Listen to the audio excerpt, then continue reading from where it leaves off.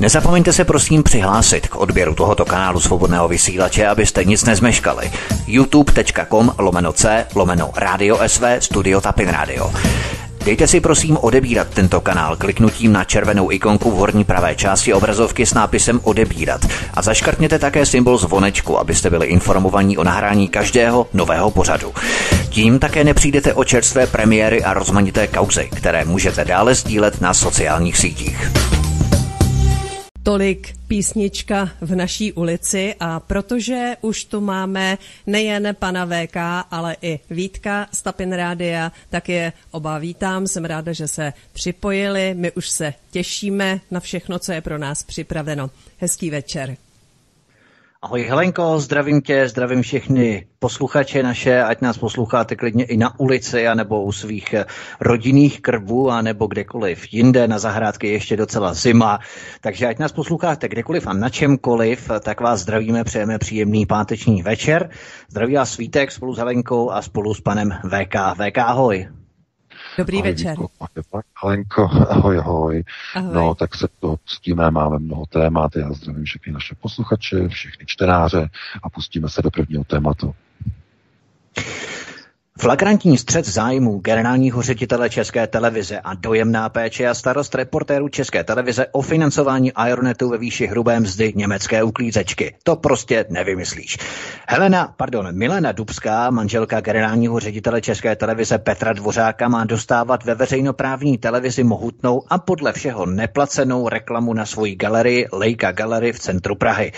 Úžas nad tím, když Moloch s rozpočtem 7 miliard korun z kapes koncesionářů má starost o dobrovolné příspěvky čtenářů údajně pro ruského dezinformačního média. Za krátký okamžik uslyšíte, milí posluchači, exkluzivní prohlášení Marka ze Slovenska, který okomentuje odpadní materiál odvysílaný českou televizí tento týden v pondělí. Marek se vyjádří ke všem lžím, které zde zazněly a uvede věci na pravou míru a sdělí nám dokonce i to, co v těch materiálech Česká televize úmyslně vystříhla a zamlčela. To bude velmi pikantní, tomu opravdu neuvěříte. Nicméně VK, než se Marek k této situaci vyjádří, chceš předtím něco dodat, a nebo až potom okomentujeme ty věci? Já bych to komentoval až potom, protože myslím si, že až eh, to všichni uslyší, tak potom se k tomu vyjádříme. Já bych to nejprve pustil. Dobře, tak poprosíme Helenku, aby nám pustila Markovo prohlášení. Ano. Dobrý den, chtěl bych se vyjádřit k lžím a pomluvám, které zazněly v pořadu reportéři ČT toto pondělí. Jmenuji se Marek Pešla, nejsem pan VK, neznám pana VK, nikdy jsem ho neviděl, nevím, kdo to je. Nejsem vydavatelem článků a Aeronetu.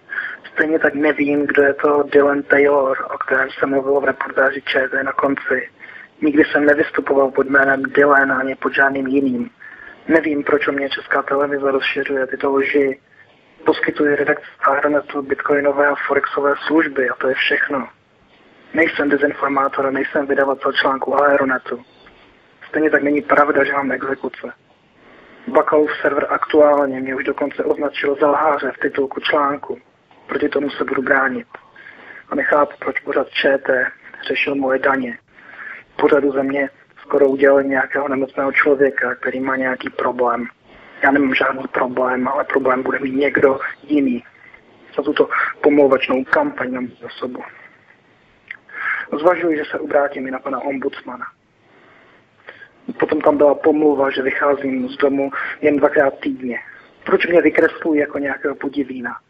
Nakupuju dvakrát týdně, jako každý pracovně vytížený člověk, který nemá čas nakupovat každý den. To snad znamená, že jsem divnej. Nemůžu ani za to, že v koopu prodávají tašky, které se na boku trhají a padají z nich nákupy. Nikoho jsem se nelekl. Je snad jasné z toho, co jsem říkal v té reportáži.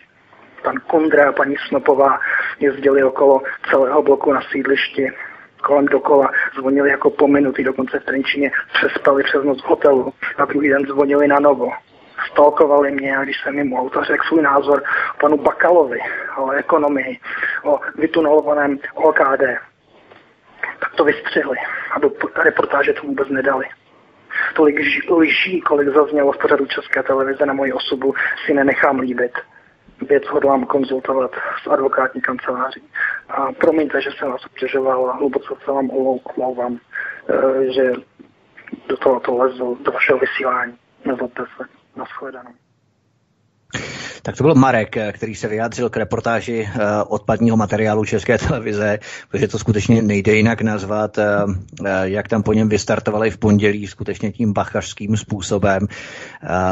On tam vlastně ve zkratce vylíčil všechno, Eh, co nám bylo zatajeno, co nám zůstalo zatajeno ohledně stalkování jeho osoby e, autem, které sledovalo přímo jeho automobil až toho obchodního centra až domů. Prostě neuvěřitelné v podstatě obléhání jeho domácnosti. Nikdo z nás si to nedokáže představit, čeho jsou tito e, takzvaní novináři schopní a koho otravují. A máme tady sortu miliardářů, které v podstatě Teď třeba natáčíme s Janou Lorencovou ohledně eh, lehkých topných olejů, kauze LTO. Pro boha, ta mafie, která založila tento systém, položila základy systému, který má přesah až do současnosti, tak tohle se vůbec neřeší. Tyhle zmetky, tyhle šmejdy, tihle novináři nikdy nebudou otravovat ať se stydí a ať opravdu zalezou do kanálu, protože tohle, co předvedli, to je vrchol Henusu a tyhle šmejdy, který mají obehnané vily třímetrovými stěnami pod elektrickým proudem, nebo to asi ne, ale minimálně s kamerovým systémem.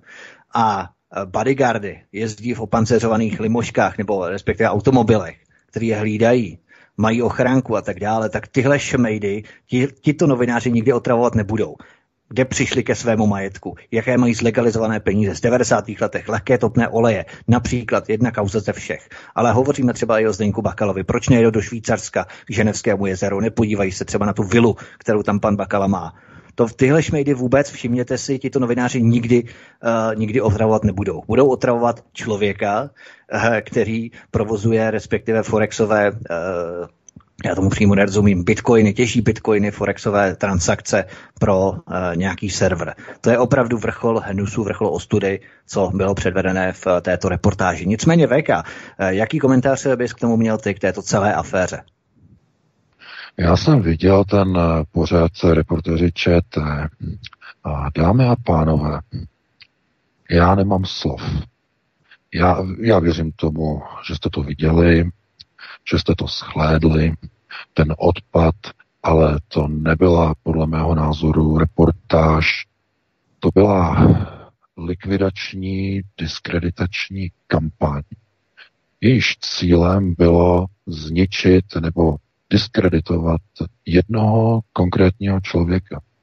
Já nejsem přesvědčený o tom, že to bylo nastavený uh, jakoby proti já nevím, Aeronetu. Dokonce jsem měl takový pocit, jako že e, tam recyklují některé záběry z těch předchozích reportáží z roku 2016, 2018. Takový jsem měl jako z toho nějaký pocit, ale tohle to bylo úplně něco jiného. Ta reportáž zkrátka měla za cíl uh, vykreslit nějakého člověka, který je uh, jednak nějaký divný, to znamená nevychází eh, z baráku, eh, má nějaké problémy, jak tam zaznělo v té reportáži. Eh, všimněte si, že jak to probíhalo vlastně celá ta reportáž.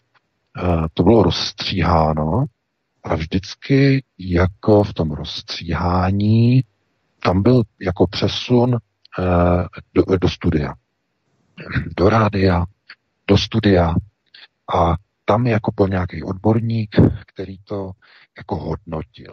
A že někdo má prostě nějaký problém a že eh, by měl, já nevím, že jako má velmi vyhraněné nějaké názory na eh, zřejmě asi Ukrajina, tak asi to bylo myšleno.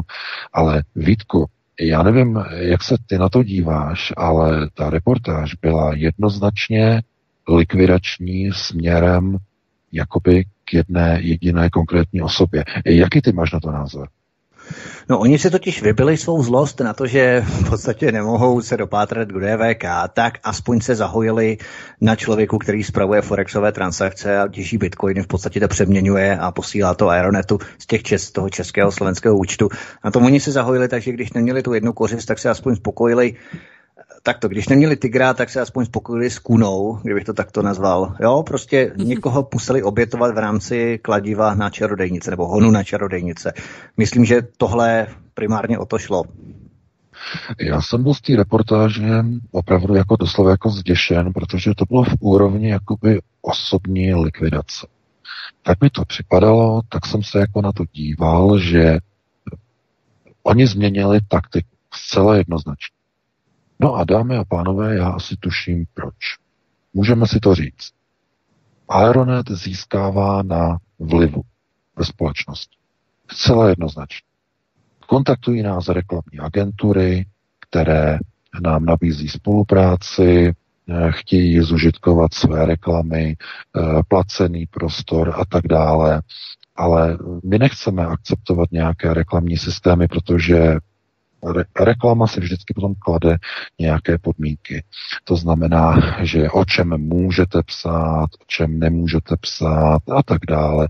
To znamená, na to nepřistupujeme. Nicméně ve chvíli, kdy vás začne kontaktovat uh, reklamní společnost, tak to znamená, že si vás všimli. Znamená to, že už dostáváte nějaký uh, systém vlivu a v tom vlivu vy ovlivňujete společnost. A jestli oni něčeho se bojí, tak je to ovlivňování společnosti.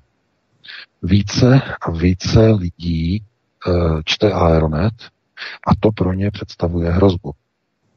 A z tohoto důvodu oni ten pořad takhle natočili. Vítku, fakt já nevím, ale e, mně se zdá, že v Česku se najednou začíná jako něco jako něco měnit, že se začínají utahovat šrouby. My se k tomu ještě dneska dostaneme, budeme hovořit i o Karle Maříkové, eh, k čemu došlo, ale eh, všimněte si velmi pozorně. Eh, znáte jistě, jak jsem sepsal ten systém takzvaných odporových gradientů. To znamená, od té bagatelizace eh, k, a marginalizace k diskreditaci, k dehonestace, ke kriminalizaci a potom k likvidaci, tak tohle to jakoby postupuje už do té roviny hodně jakoby diskreditačně dehonestační, až pomalu jakoby kriminalizační. To samé vidíme u Karly Maříkové, kde ona e, řekla jeden výrok a e, teď jí chtějí v podstatě trestně stíhat, ale jak říkám, k tomu se ještě dostaneme.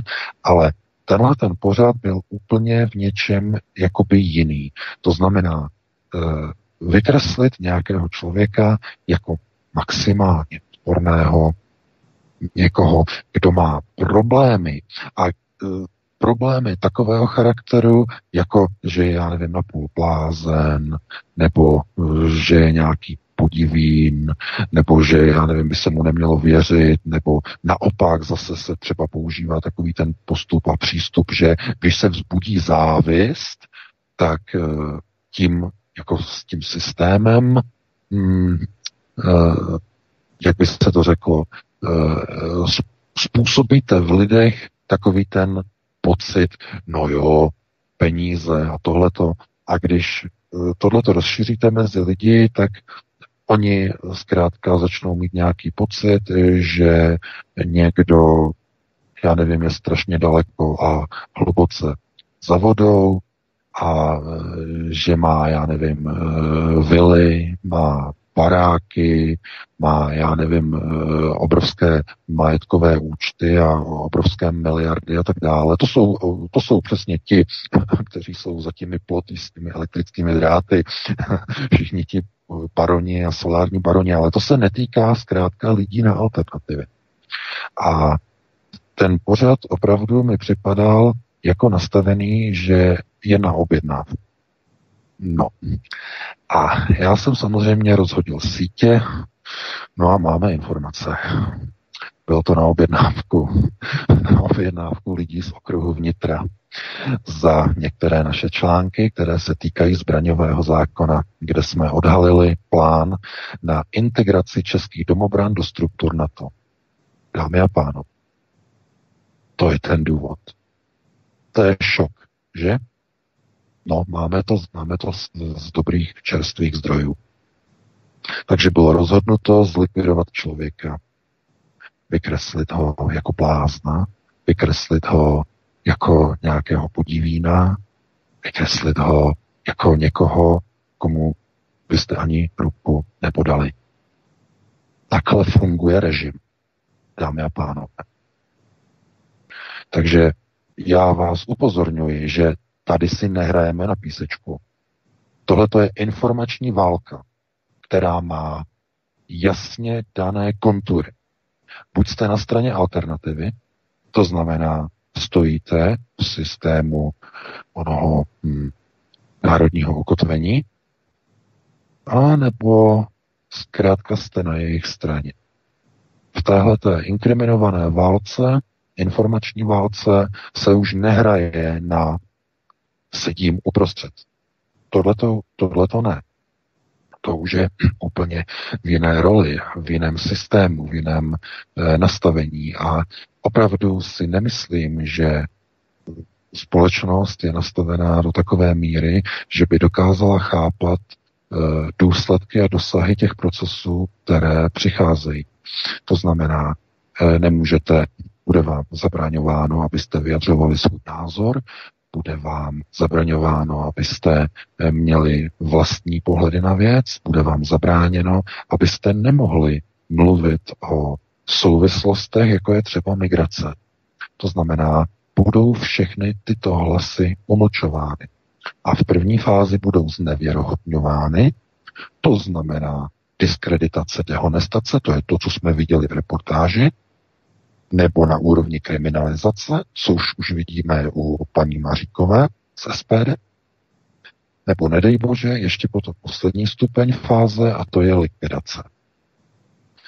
A jenom kdybych měl se vyjádřit a postavit to do správného nadhledu a do správného uh, úhlu, co zaznělo v tom pořadu, jaké tam byly dezinformace, tak já to jenom jednoduše zopakuju, vydavatelem Aeronetu je americká společnost American European News LLC, registrovaná ve Spojených státech a podnikající podle amerických zákonů. To je vydavatel všech článků.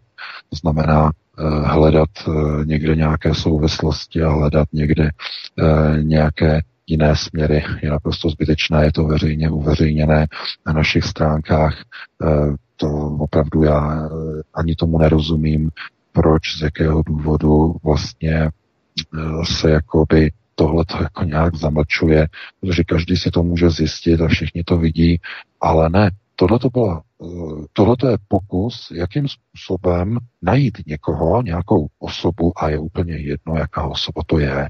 Úplně fuk, Může to být kdokoliv, může to být třeba nějaká uklízečka někde, kterou odchytí a zjistí, že dostala někde nějaký příjem a řeknou, a vy jste za to zodpovědná.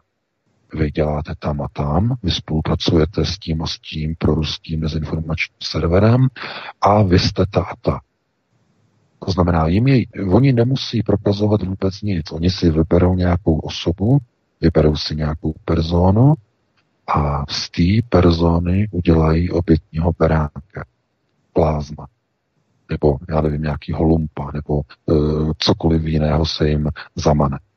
No a uh, ten vliv potom vede k tomu, že se očekává, že takový server přestane e, mít uh, jakoby podporu, přestane mít návštěvnost. Samozřejmě nevím, kde oni získali takovéhle domněnky, protože ono to funguje přesně obráceně, naopak to obrovské zvedlo návštěvnost Aeronetu za ten týden 4 miliony 750 tisíc a něco jenom za týden a návštěvnost. A to jako znamená, že je to nastavené do systému likvidace. Někomu už strašně moc vadíme. Takže pokud jste to viděli, tu reportáž, tak jste ji viděli, slyšeli jste i, co bylo vystřihnuto. A já bych jenom řekl k tomu jednu věc. Aeronet je první. Vždycky byl první na ráně. Ale ostatní alternativní servery stojí v řadě a budou následovány. To znamená, nemyslete si, že nepůjdou po vás. Pokud provozujete nějaký server alternativy. I vy budete čelit těm těm, těm, těm procesům. To je ta tragédie. Eh, Vítku, co bys k tomu ještě řekl? Tak eh, já si myslím, že my jako svobodný vysílač jsme tuto ránu zažili v srpnu minulého roku, kdy nám byl zrušený velký kanál a to bez varování, bez jakéhokoliv strajku, protože YouTube eh, vždy zasílá před potenciálním zrušení kanálu tři varování, tři strajky, takzvané ohledně videí, které porušují nějaké pravidla komunity, nějaká pravidla komunity a tak dále. Nic takového nepřišlo a kanál s 19 tisíci odběrateli nám byl zrušený a to bez varování. Takže my jsme to pocítili v podstatě v srpnu minulého roku, čili uh, všímejme si i toho, jaká média jsou protisystémová, alternativní a po kterých systém jde, Eh, takzvaně po krku a která nechává být a která nechává na pokoj. To také o lecčem svědčí. Buď, že mají tedy minimální dosah, nebo eh, respektive celkem i malý dosah a pokud ten dosah mají větší, tak eh, ten dosah samozřejmě a influence, influence, to znamená ovlivňování a impact, to znamená dopad, je tak velký, že už začnou nějakým způsobem poslovat větší skupinu veřejnosti a to samozřejmě musí být zastaveno. To znamená, Eh, jednak ta média musí být eh, eh, jaksi pozastavená, anebo jim musí být házeny klacky pod nohy, což se stalo v minulý rok tedy nám. A všímejme si opravdu toho, pok, pokom ten systém jde a koho nechává být, koho nechává na pokoji a kdo je jaksi lehce rýpavý do systému, ale v podstatě konformní s těmi základními systémovými pravidly. Hraje a určuje a rve se za ta systémová pravidla, to znamená uh, konkrétně uh, uspořádání politického systému, a lpění nebo e, afilace k nějaké konkrétní politické straně nebo hnutí, což už je právě to špatné, co by nemělo být a nemělo by fungovat. Člověk si musí udržovat nadhled a kormy. E, v alternativě musíme velmi bedlivě zvažovat, e, o kom vůbec, komu věnujeme podporu a nějakým způsobem budeme spíš inklinovat k tomu bolit pro ty dané partaje, strany, hnutí a tak dále. Takže tohle bych si VK možná i všímal, do jaké míry ten systém, koho, jak si, uh, po kom jde, koho nechává být, koho nechává na pokoji. no, to si řekl úplně přesně. To bychom měli hned několik uh, takových těch, uh, já nevím, bych řekl příkladů, které samozřejmě nebudeme jmenovat, aby zase nevznikla nějaká válka, ale určitě uh, si dovedu představit, kterých uh, takzvaně v uvozovkách alternativních uh, serverů a alternativních dalších mediálních outletů se to asi může týkat, ale je to je, je jasné, že tohleto znamená, že jsou jak, jakoby vytažená stavidla, to znamená, to jsou vytažená nahoru a teď ta vlna té nenávisti a těch útoků v tomhle roce 2020 bude opravdu intenzivně vrcholit. To znamená, to není už opravdu, říkám znovu, jako uvědomte si, teď v téhle chvíli už je to nastavené v tom takové tom, já nevím, eh, smyslu, že vy máte nějaký názor, ale už ho nemůžete říct.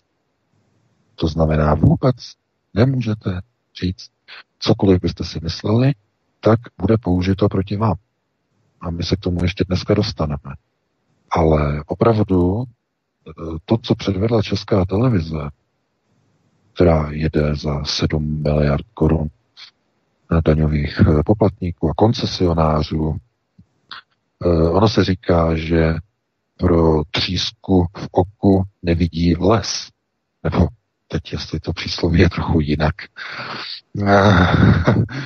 abych, abych to nepopletl, ale to je přesně ten případ České televize. To znamená, oni mají generálního ředitele, který prokazatelně má za manželku e, paní, která je majitelkou galerie v Praze, která má neustále permanentní a pravidelnou reklamu v České televizi.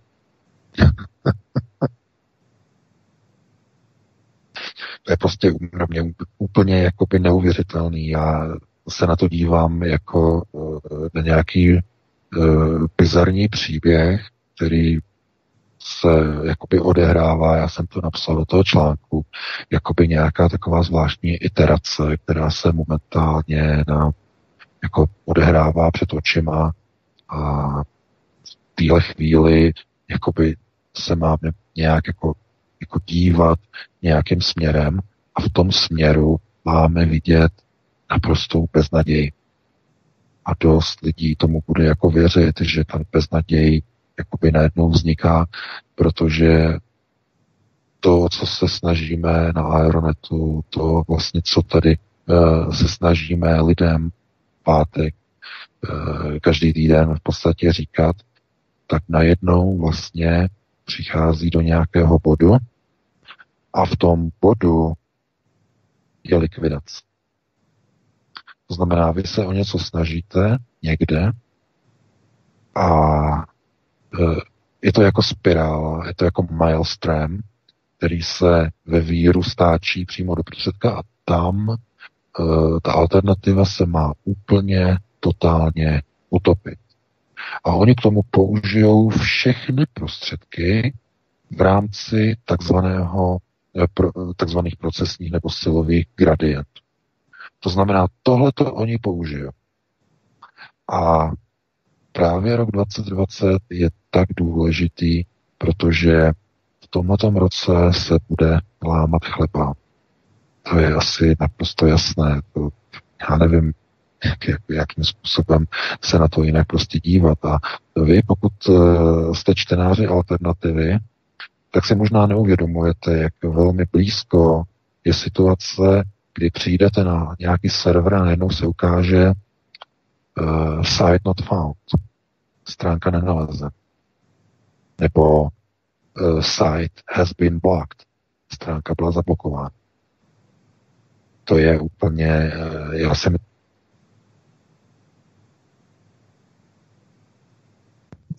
tak teď... Jeho názoru úplně jako... A slyšíme se? Halo? Ano, eh, na vteřinu to vypadlo, eh, ale v pohodě, no, už mluvíme. Ano, už se slyšíme. No, výborně. Eh, já jsem jenom chtěl říct, že opravdu alternativa v této chvíli je na rozcestí, je v situaci, kdy bude daleko horší lidem posílat informace. Víte, že blokují maily, začali dokonce už blokovat nejenom na příjmu, ale i na vlastně na odesílání. To znamená maximálně, aby bylo zablokováno sdílení informací z alternativních zdrojů. A alternativa do značné míry je neustále považována za nějakou jakoby věc, kterou prostě si pustíte na počítači, eh, na mobilu, ono to naběhne, tam si přečtete články, vstoupíte třeba do komentářů, tam něco napíšete do komentářů, máte to za samozřejmost. A ono to není samozřejmost, dámy a pánové. Jsou zatím lidské osudy, které provoz takových serverů pomáhají realizovat. Jako je třeba právě pan Marek. Jako byl uh, pan, uh, pan Rohály a další. To znamená, pomáhají uh, realizovat projekt, pomáhají jeho provozu a najednou jako se ukazuje, že ten systém se rozhodl prostě tam, kde to jde, tak prostě ty lidi jakoby očernit, nějak je zlikvidovat, aby ten eh, provoz zkrátka skočil. Aby ti, kdo tam píšou a dávají ty články a odhalují v rámci investigací všechny ty e, procesy, tak aby zkrátka neměli publikační platformu. Abych tedy já, jako pan VK, nemohl nikde publikovat. Tohle to, takhle to nastavený. Nějak jinak. Takže, dámy a pánové, ano, je to znovu v té pozici informační války. Je naše strana, je jejich strana. A musíme se semknout dohromady a musíme čelit těmto útokům. Takže já bych tady to téma asi ukončil, protože jsme o něm hovořili hodně dlouho. Eh, předám ti ještě slovo Vítku a pustili bychom se do dalšího tématu, respektive do prvního politického tématu. Česko má už sedm případů, pokud je jich více, nemám úplně aktuální informace, vím o sedmi případech nakažených COVID-19. První dva přicestovali z Itálie po zemi osobními auty, ve třetím případě kontrola na letišti nic neodhalila u nakažené američanky. Pokud člověk nemá již rozvinutou nemoc ve svém těle a nachází se jen v inkubačním období, měření teploty nákazu nemusí prokázat. Vyhlásit zákaz letů z Milána do Benátek a do Prahy, z Benátek, tedy z Milána do Prahy, nic nevyřeší. Většina Čechů do Itálie totiž cestuje s lyžemi do zimních italských rezortů auty. Jediným řešením je čínský model checkpointů na hranicích a lustrace osob, odkud cestující v autech a placích přijíždějí přes rakouské hranice do České republiky. Vedle toho byly provedeny totiž ještě další vědecké studie, které prokázaly, že koronavirus může v amerických dolarech přežívat až celé měsíce. Bankovky jsou totiž vyrobeny z, al, z bavlny alnu. Šokující kolekce studií odhalují, že bankovky na bázi organických vláken fungují v podstatě jako viry a bakteriemi nasáklé ručníky, které cestují z ruky člověka na pevníze, z nich na potraviny a potom do úst člověka. Stafilokoky, houby, spory, ATB rezistentní bakterie, chřipkové viry, MERS a SARS viry. To všechno přežívá podle těchto studií v bankovkách až několik měsíců, protože neplatíme papírovými penězi, ale v podstatě kusy převážně převážně bavlněných hadrů s potiskem. Předtím, než se tě VK ještě zeptám, co ty studie prokázaly, tak bych se chtěl vyjádřit k naštěstí jenom pár tupcům, omlouvám se za to slovo, kteří mě psali do redakce, že jsme prý minule propagovali bezhotovostní styk, bezhotovostní platbu, že na bankovkách jsou viry. Já skutečně žasnu, jak nikdo nedokáže porozumět základním tezím a logickým vývodům mluveného slova, konstruktům, když jsme jednoznačně vedli, že jde o záminku globalistů, jak protlačit bezhotovostní platbu. Znovu opakuji, že jde o záminku globalistů, což jsme minule předesílali, a potom se vynoří nějaký člověk, který nás bude naskávat, že my snad propagujeme něco jako bezhotovostní platby, dokonce, že snad tiskneme ty kreditky, že je rozdáváme lidem, já nevím, co všechno.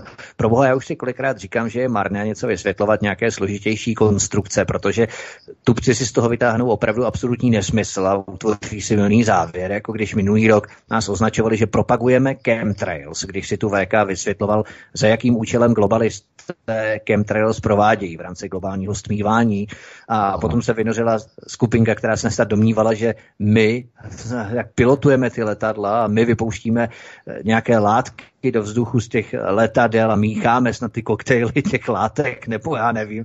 Skutečně fakt nemám slov, ale vraťme se eh, k těm studiím ohledně textury amerických bankovek. Co ty studie odhalily? V podstatě, když to zasadíme do toho kontextu uh, aktuální vývoje situace kolem koronaviru v České republice i ty výzkumy jednoznačně ukázaly, že bankovky jsou vyrobené víceméně z eh, organických eh, látek, to znamená, není to papír, který byste si mohli představit jako z celulózy, klasický papír, ale jsou to vlákna uh, různých, uh, bychom řekli, uh, to znamená, jsou to, je to pavlna, uh, je to len, jsou to některé i polymery, což ty zase ne, abyste nemluvili jenom o organických e, tkaninách, ale právě tady v těch vangovkách se nejlépe uchovávají viry. To je nejlepší nosič. A e, protože proč? Bavlna uchovává vlhkost. E, organická tkanina je doslova jako houba, která uchovává vlhkost, no a vlhkost podporuje přežívání virů. To je takhle úplně jednoduché. Já jsem napsal ten článek a e, rovněž proti mně se tam jako objevily prostě takové, jako že tam prostě něco propaguju, že propaguju, já nevím, nějaké globalistické teze, ale pro boha, to vždyť to není pravda. Ten článek je pouze o e, technickém a mechanickém způsobu, jakým se bakterie přenášejí na bankovkách. A pomocí e, této, této skutečnosti a tohoto faktu globalisté budou argumentovat, že je třeba se zbavit, bezhotovo, eh, zbavit bankovek a přejít na bezhotovostní styk. Tak je to myšleno. Tak ty články jsou psány. To není propagace bezhotovostního uh, styku. Já opravdu nevím, jestli lidé uh, nemají čas a nečtou článek celý a Tak zase mikrovýpadek, který doufejme, že se napraví. Ano, teď neslyšíme, pana VK. Ještě nějaké další uh, použití a funkce. A uh, opravdu se jako ukazuje, že ta bankovka eh, je tím hlavním nosičem. To znamená, to jsou ta fakta, která jsou přesně vymezená, jsou proto vědecké studie a tyhle ty informace budou používat globalisté k tomu, aby byla zrušená hotovostní měna, to znamená, aby se přestalo platit hotovosti, takhle to bylo myšleno. A e, opravdu znovu opakuji, že to je vlastně ten pocit, že lidé nečtou ty články úplně celé, protože je, jako je to pravda, e, jsou delší, nepřečtou si je, přečtou si třeba jenom nadpis, administrátor mi to hlásí e, pomocí těch, těch, těch skriptů tam, jak dlouho se čte článek, e, průměrná doba jenom pro vaši zajímavost, to jsou jako zajímavá fakta, zajímavá data. Eh, mě to taky zajímá, se administrátor mi dělá jako svodky a vývody návštěvnosti, ale eh, vy jste se divili, prostě jak velké procento lidí čte článek dvě minuty a 30 vteřin. Což je, eh, což není přečtení článku, který má 1500 nebo 1800 znaků. Můj článek se čte 7-10 minut.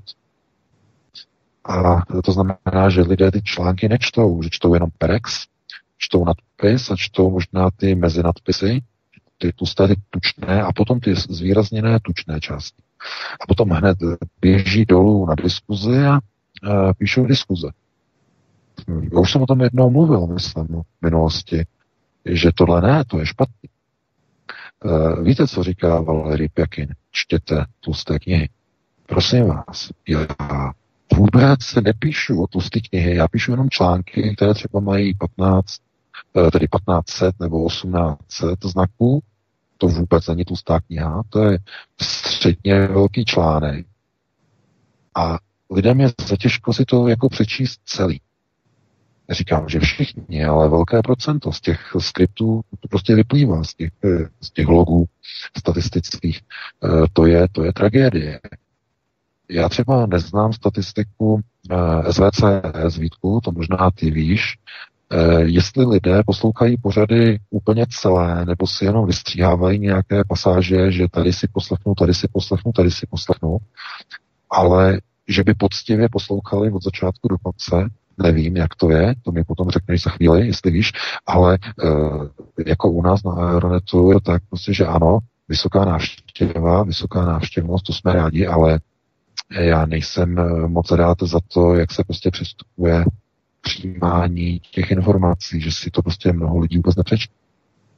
E, no, jak se na to díváš, ty Já VK můžu hodnotit pouze Eh, připojení slotů na streamovací server, to znamená, kolik lidí nás reálně poslouchá, ale když se někdo odpojí, připojí, tak osciluje to tak 20-30 více méně a více méně, ale nevím, jestli uh, více lidí poslouchá na začátku, prostřed nebo na konci, nebo jestli si někdo něco vystříhává, to myslím, že ani snad nejde uh, nějak hodnotit na to, ty články psané jsou lepší v tom zjišťování, jak ty čl- lidé ty články zpracovávají, jak k ním přistupují a tak dále. Takže to já nevím, to nemůžu hodnotit z pozice svobodného vysílače. Myslím, že ani Pavel eh, tohle nemonitoruje. My máme pouze výsledky v rámci poslechovosti, co se týče připojení uh, slotů na streamovací server. Uh, kolik lidí, je posl- kolik lidí poslouchá, ale to, je tak, to je tak asi všechno. No. Jasně, jasně.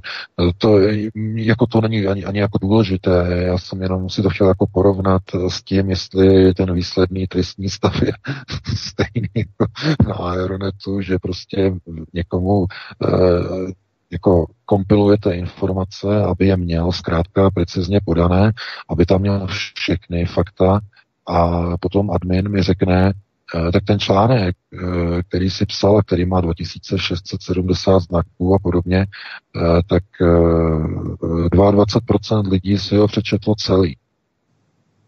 22% lidí.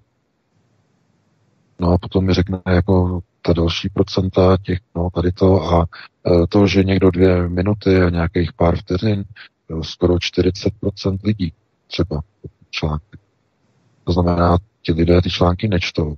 A proto eh, já už jako jsem převzal tu metodu pana inženýra Grubra, eh, známého již dávno z 80. let o takzvané optimalizaci čtení, optimalizaci přijímání informací, má na to dokonce přednášky, knihy napsané, to znamená optimalizace psaní článků a přijímání informací podle Jennera Grubera.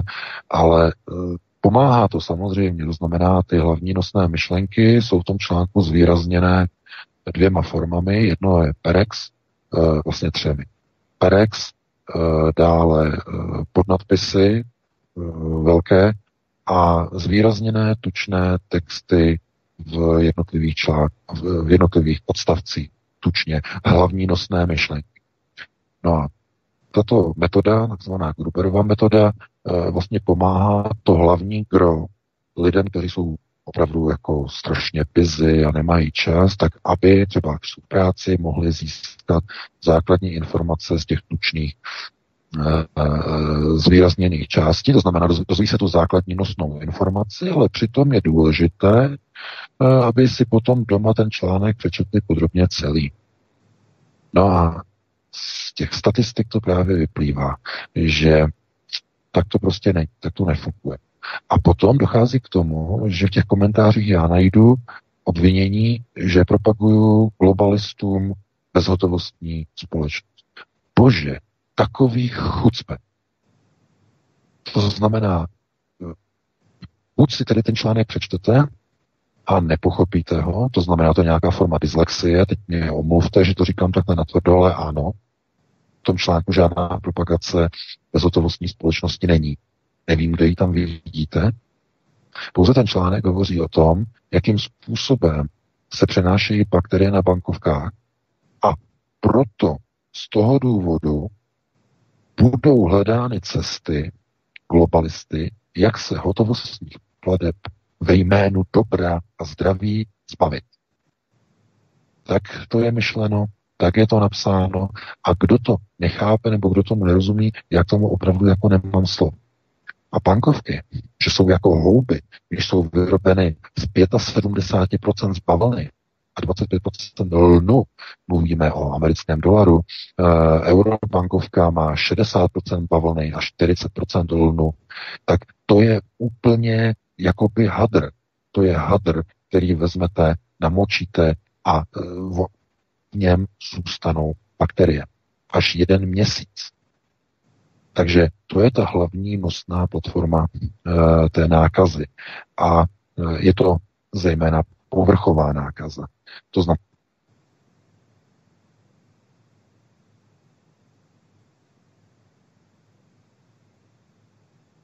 Zase se neslyšíme. Když jednotlivé bankovky v peněžence, tak v těch uh, bankovkách ty viry zkrátka zůstávají. To je asi ten hlavní důvod, proč uh, jakoby v téhle chvíli uh, se mluví o tom, že jednotlivé viry, zkrátka, které vlastně útočí na člověka, že to koronavirus nebo třeba viry chřipky, tak jsou nejčastěji způsobené pomocí přenosu z ruky, z ruky do úst. Ona ta kapenková nákaza které se hovoří třeba v souvislosti s chřipkou a tak podobně, zdaleka není tím hlavním přenosným vektorem, ale je to mechanický dotek. To znamená, vezmete zaklípku někde, v nějakém veřejném místě, třeba v obchodě, v restauraci, nebo eh, když bydlíte doma, nebo bydlíte třeba, já nevím, v paneláku, tak za hlavní domovní dveře dole vezmete a potom jdete a já nevím, třeba si utřete nos nebo si utřete pusu někde, já nevím, nebo si sáhnete na oko, nebo takhle bezděčně rukou třeba dvě minuty poté. No a všechny ty bakterie a všechny ty viry, které jsou na té klice, okamžitě máte na tváři. Máte je na puse, máte je na nosu, máte je v oku v tom okamžiku. To znamená, povrchová nákaza je ta, která v případě bankovek prochází i jednotlivý, jednotlivými karanténami. To znamená jednotlivé karantény, které jsou vlastně vytvářeny okolo měst, to znamená města jsou izolována, ale to, co z nich dokáže uniknout, to není člověk, to je měna, bankovka, která zůstává v peněžním oběhu, která obsahuje viry nemocných lidí.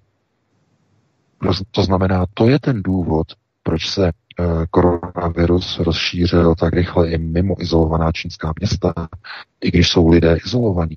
Je to kvůli tomu, že ten virus cestuje na bankovkách. Proto i ty dvě ženy v Oregonu, ve Washingtonu byly nakaženy, i když nikam nejezdili, byly doma, jenom si přinesli, teda ne přinesli, nechali si přinést donáškou jídlo, zaplatili bankovkama, nakazili se.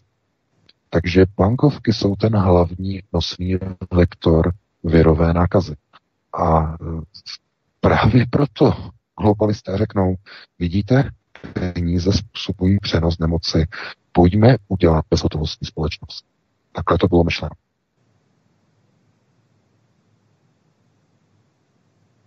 Tak já si myslím, že právě přichází eh, čas 20 hodin, tak bychom si mohli dát VK asi pauzu a potom bychom se mohli vrhnout na další téma, eh, kterým budou ony šokující záběry z Řecka, které zachycují tisíce migrantů, jak přelezají žiltkový plot a hrnou se z Turecka do Evropské unie. Něco neskutečného, co mělo právě překrýt ta kauza ohledně Korovinu. Co říkáš?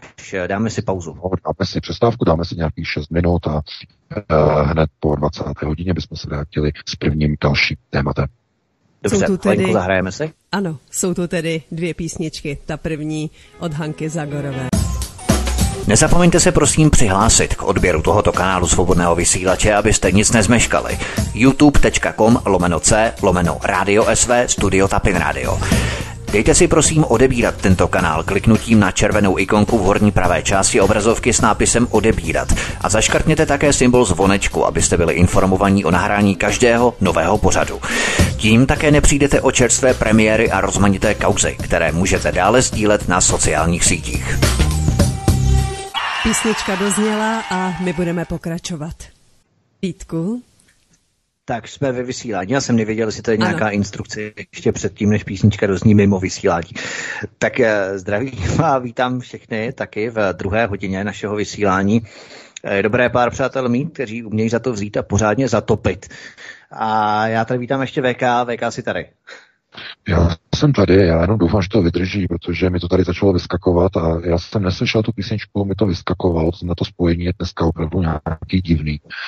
Buď máme velkou sledovanost, teda ne sledovanost, ale eh, poslechovost, poslechovost a nebo uh, já nevím, nebo nám někdo nepřeje, jo. tak bych to řekl. Stávalo se právě v té první hodině, že si vypadl nějaké zhruba 3, 4 až 5 vteřin, eh, zhruba třikrát. Eh, nebylo to nějakým způsobem eh, ovlivnitelné z toho důvodu, že by to třeba nějak mělo vliv na to, co si, to, o čem jsi mluvil, dalo se to v pohodě dát dohromady, ale prostě takové věci se tam děly, odehrávaly se v první hodině. Doufejme, že to teď bude trošku lepší. Takže půjdeme na další téma. Šokující záběry z Řecka zachycují tisíce krimigrantů, jak přelézají žiletkový plot a hrnou se z Turecka do Evropské unie.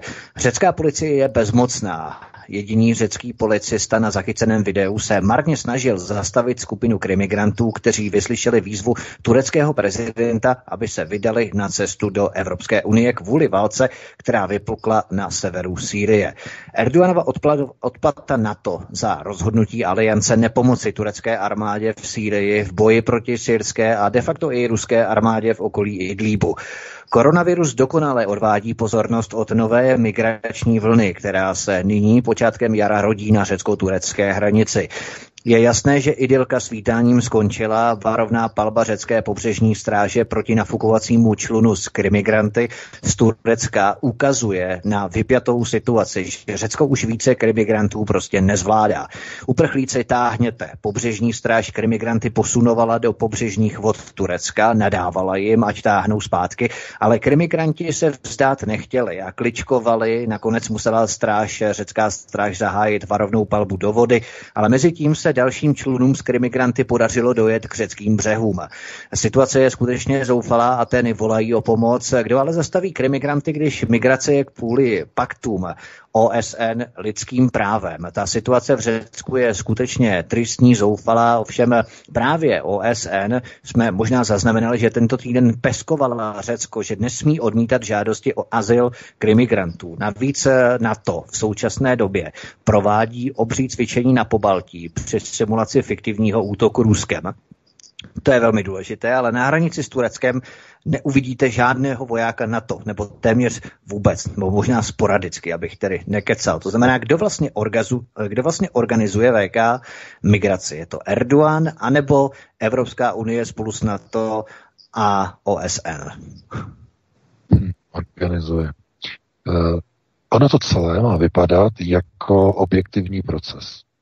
To znamená, že migrace je přirozená je vyvolána okolnostojičnostmi, abych tak řekl. A ono to tak není. Migrace je koncept. Je to konceptuální nástroj řízení. řízení. Eh, můžete říkat eh, plánovaný nástroj řízení, to znamená koncept. Já jsem to psal do toho článku. Co se jedná? Zamyslete se.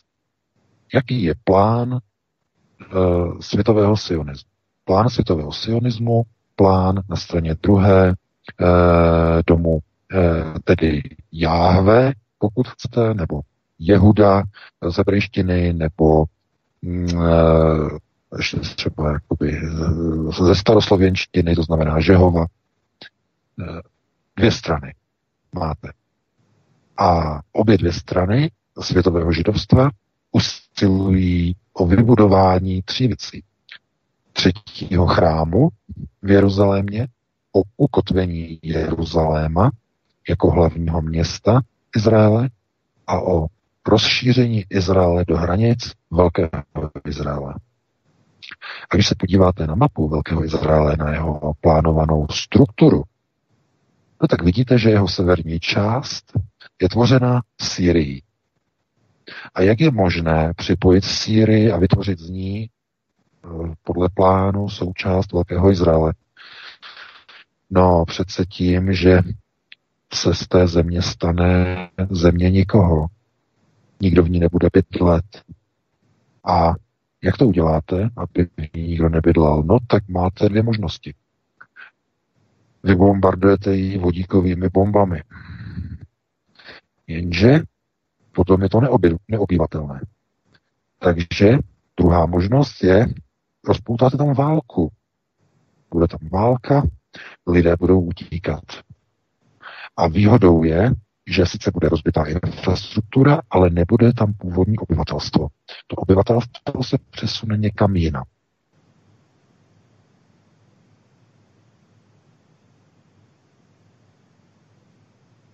Kam se přesune? No tak odpověď na tu otázku je úplně jednoduchá. Ti migranti úplně všichni se přesunou do Evropy. To znamená, budou v Evropě a Sýrie bude prázdná. Nebude se moc bránit. Bude rozparcelována. Bude otevřený prostor pro rozšíření Izraele do hranic Velkého Izraele. To je ten plán. To znamená, jakým způsobem se vybuduje Velký Izrael? Že Izrael bude bojovat se svými sousedy? Že bude nějakým způsobem válčit? On to přece může dělat úplně jinak. On vyvolá občanskou válku v sousedních zemích. Vytvoří masový exodus, masovou krizi, vylidnění sousedních států, doslova vylidnění, protože všichni obyvatelé budou utíkat do Evropy. Evropa bude překreslena, demograficky přeformátována a mezi tím bude vyklizen prostor pro rozšíření současného Izraele do hranic Velkého Izraele. Takže pokud se ptáte, čí je to proces, proces migrace, tak znáte odpověď. A právě kvůli těmto informacím se snaží zlikvidovat Aeronet, abychom nemohli otevírat oči, aby se lidé nedozvěděli tyto souvislosti. To znamená, tohle, co tady slyšíte, je takzvaná konceptuální gramotnost. Rozumět tomu, když spadne kámen z nebe, že tam nevylítl sám o své vlastní vůli, že byl někým schozen. To je konceptuální gramotnost. Samozřejmě příměrově, ale divili byste se, kolik lidí se nachází mezi námi, kteří věří tomu, že kameny létají. sami o sobě. Věří tomu, že migrace vzniká sama o sobě. Věří tomu, že migrace je řízena nějakým objektivním procesem a že nikdo za ní nemůže. Ne, dámy a pánové. Migrace byla vyvolána za jediným účelem. A pokud se ptáte z pohledu globalistů, tak je to dokonce dvojí účel. Přeformátování Evropy bude k tomu použita migrace. A rozšíření Izraele do hranic Velkého Izraele bude provedeno pomocí vylidnění okolních států, kde kvůli brutálním občanským válkám, ze kterých nebude oficiálně nikdy Izrael obviněn, dojde k takovému vysídlení, že Izrael se stane pánem nad sousedními územími. A ten proces byl nastartován minulý rok v březnu, takzvaně, když byl hotovo, kdy si Benjamin Netanyahu přijel do Bílého domu pro certifikát od Donalda Trumpa, který mu potvrdil anexi Golan, část syrského území. To je počátek realizace Velkého Izraele a bude to pokračovat dál směrem na sever.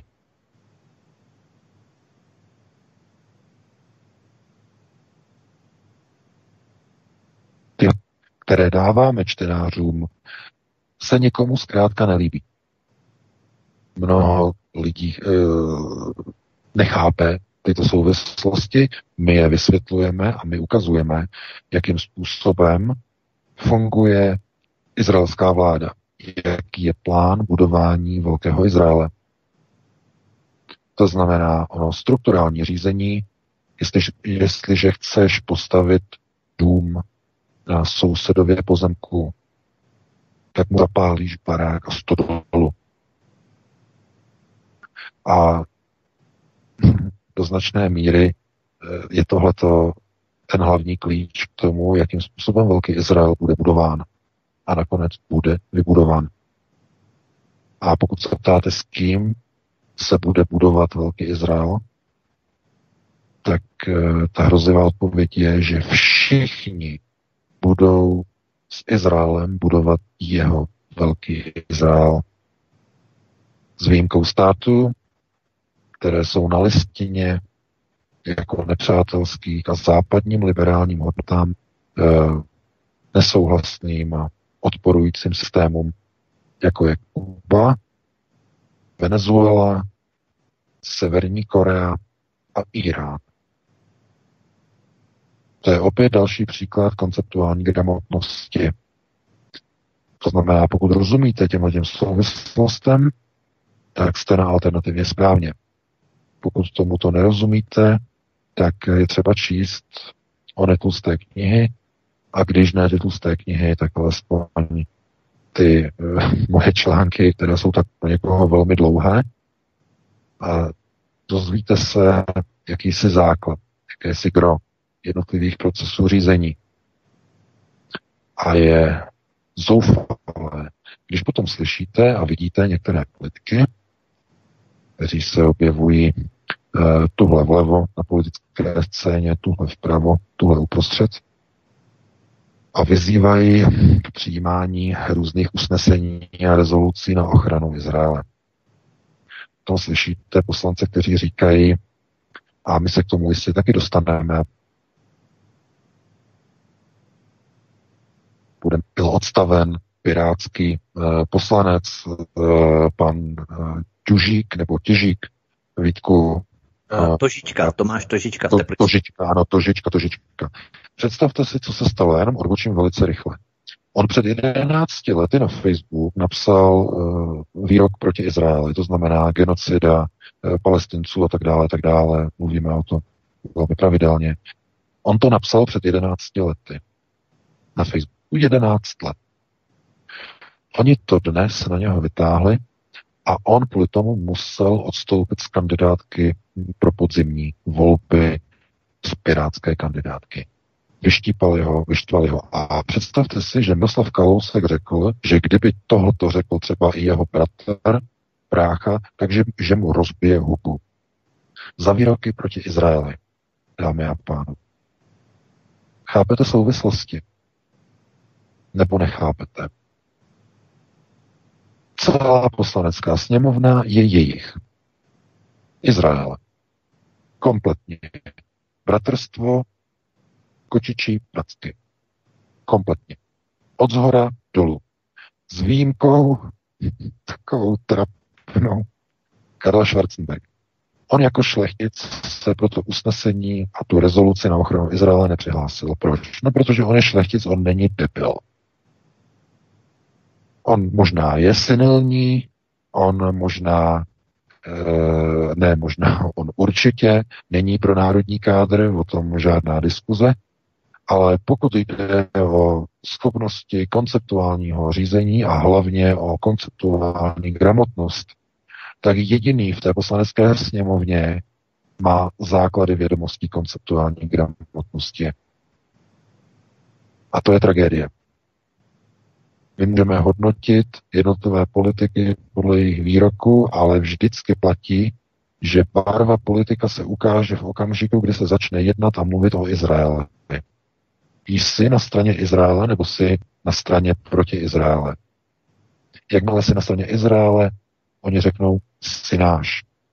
Jakmile se zastáváš jenom trochu palestinců, nebo jenom trochu kohokoliv jiného, nebo se zastáváš Syřanů ve věci Golanských výšin, nebo se zastáváš úplně jakéhokoliv etnika nebo skupiny e, lidí, tak se stáváš jejich nepřítelem.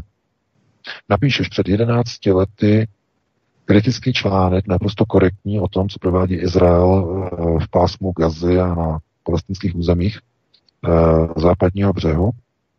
A oni to na tebe za 11 let vytáhnou. A Kalousek ještě řekne, že kdyby tohle to napsal e, třeba jeho bratr, takže mu rozbije hubu. Tohle to je tragédie, protože tohle to ukazuje, že nic nebude zapomenuto, jestliže někdy se vyjádříte proti Izraelu. Nikdy vám a že jste se postavili proti jejich hlavním zájmu. To znamená zájmům vybudování Izraele jakožto hlavního domínia pro prosazení takzvaného nového světového řádu.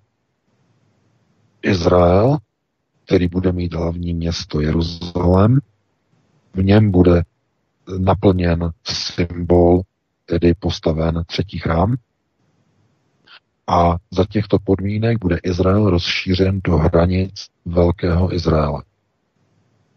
Pokud čekáte válku, čekáte ji e, zbytečně, protože je jasně e, v talmudických proroctvích jasně dáno, že válka nebude dříve, než bude vybudován Velký Izrael. Tohle je pro mnoho lidí šok, to si musíme probrat teď. Já se omlouvám, ale to je velmi zásadní, protože dostávám e-maily, lidé se na to ptají. Jak je možné, že bude vybudován velký Izrael a nebude to na základě války Izraele s, se sousedy? Jak je to vůbec možné? No dámy a pánové, v Sýrii vidíte přesně model, jak to funguje. Jiné mocnosti, jako je Turecko, jiné mocnosti, jako jsou Spojené státy, jiné mocnosti, jako je Rusko a domácí armáda, jako je syrská armáda, se mezi sebou budou řezat a celý, celý uh, Izrael bude jenom čekat, až všechno obyvatelstvo Sýrie se přesune do Turecka a následně do Evropy. Po vyklizení Sýrie už nebude nikdo, kdo by mohl bránit obsazení Sýrie. A protože ten proces se blíží, tak nastává proces dělení, porcování kořisti. Na severu chce být Turecko, na západě vzniká část Kurdistánu, plus američané okupují syrská ropná naleziště. Dole na jihu operuje Izrael.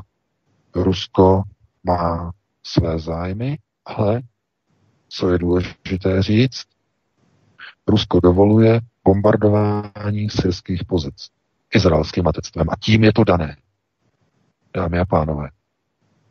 Pokud tohle si nedokážete přiznat, že Rusko dovoluje izraelským stíhačkám vstupovat, do, Izrael, do syrského vzdušného prostoru a nesestřeluje je, tak tím je to dané. A můžete se na hlavu postavit, můžete milovat, můžete se modlit Vladimíru Putinovi, můžete se mu klanět. Ale nic to nezmění na tom, že je jejich. Je pod kontrolou židovského kongresu, je pod kontrolou halachy, ochrany Jeruzaléma. A to jsou šoky pro lidi, pro mnoho lidí. Lidé nehledají pravdu, lidé hledají potvrzení své pravdy. A to je tragédie alternativy. Mnohokrát jsme to zažili.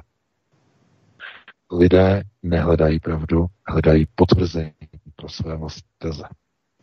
To znamená, vytvoří si modlu mesiáše, k ní se modlí. Ale to není alternativa. To je něco,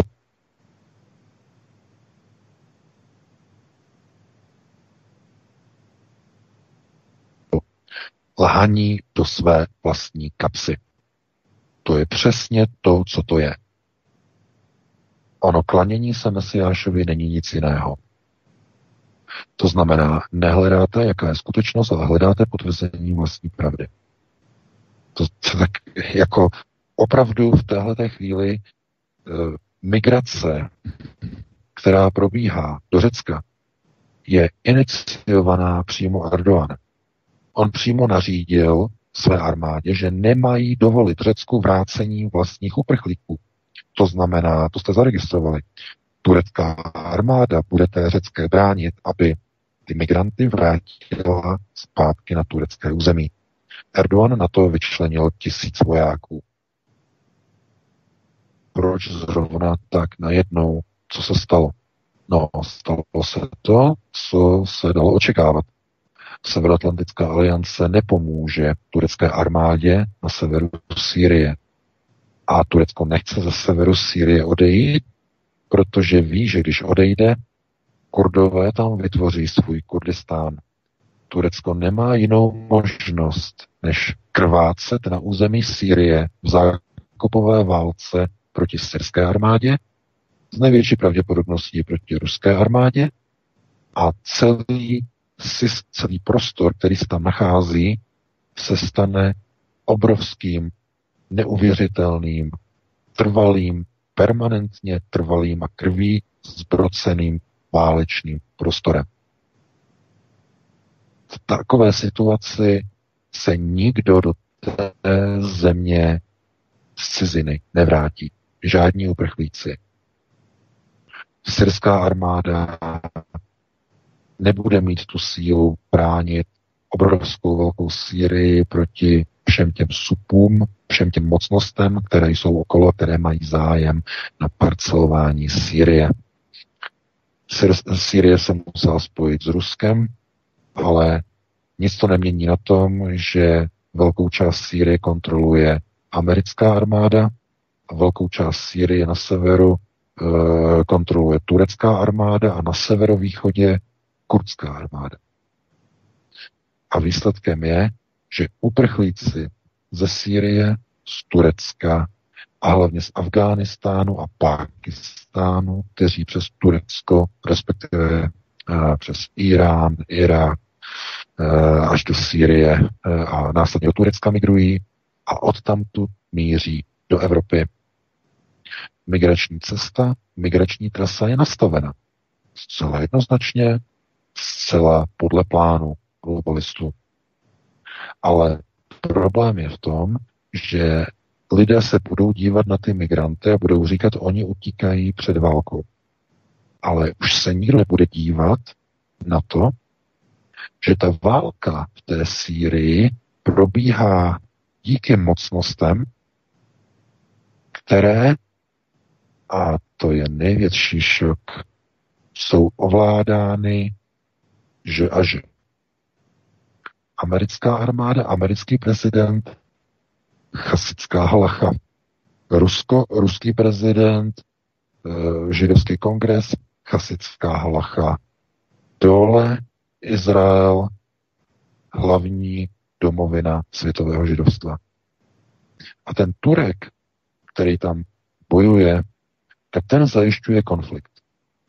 ten zajišťuje onen válečný stav a úprk lidí ze Sýrie, ale ani ne tak úprk, protože kdo mohl, ten už utekl v minulých letech, ale především zaručuje ten Turek, že nikdo se do té Sýrie nezačne vracet, dámy a pánové. To je hlavní úkol Erdoganovy armády. Aby se nikdo nezačal vracet do Turecka, teda do Turecka, do Sýrie, domů.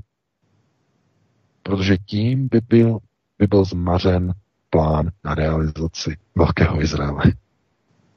Takhle je to naplánované. A všimněte si, Izrael si ruce v tomto systému nezašpiní. Izrael je jakoby v tom naprosto nevinně.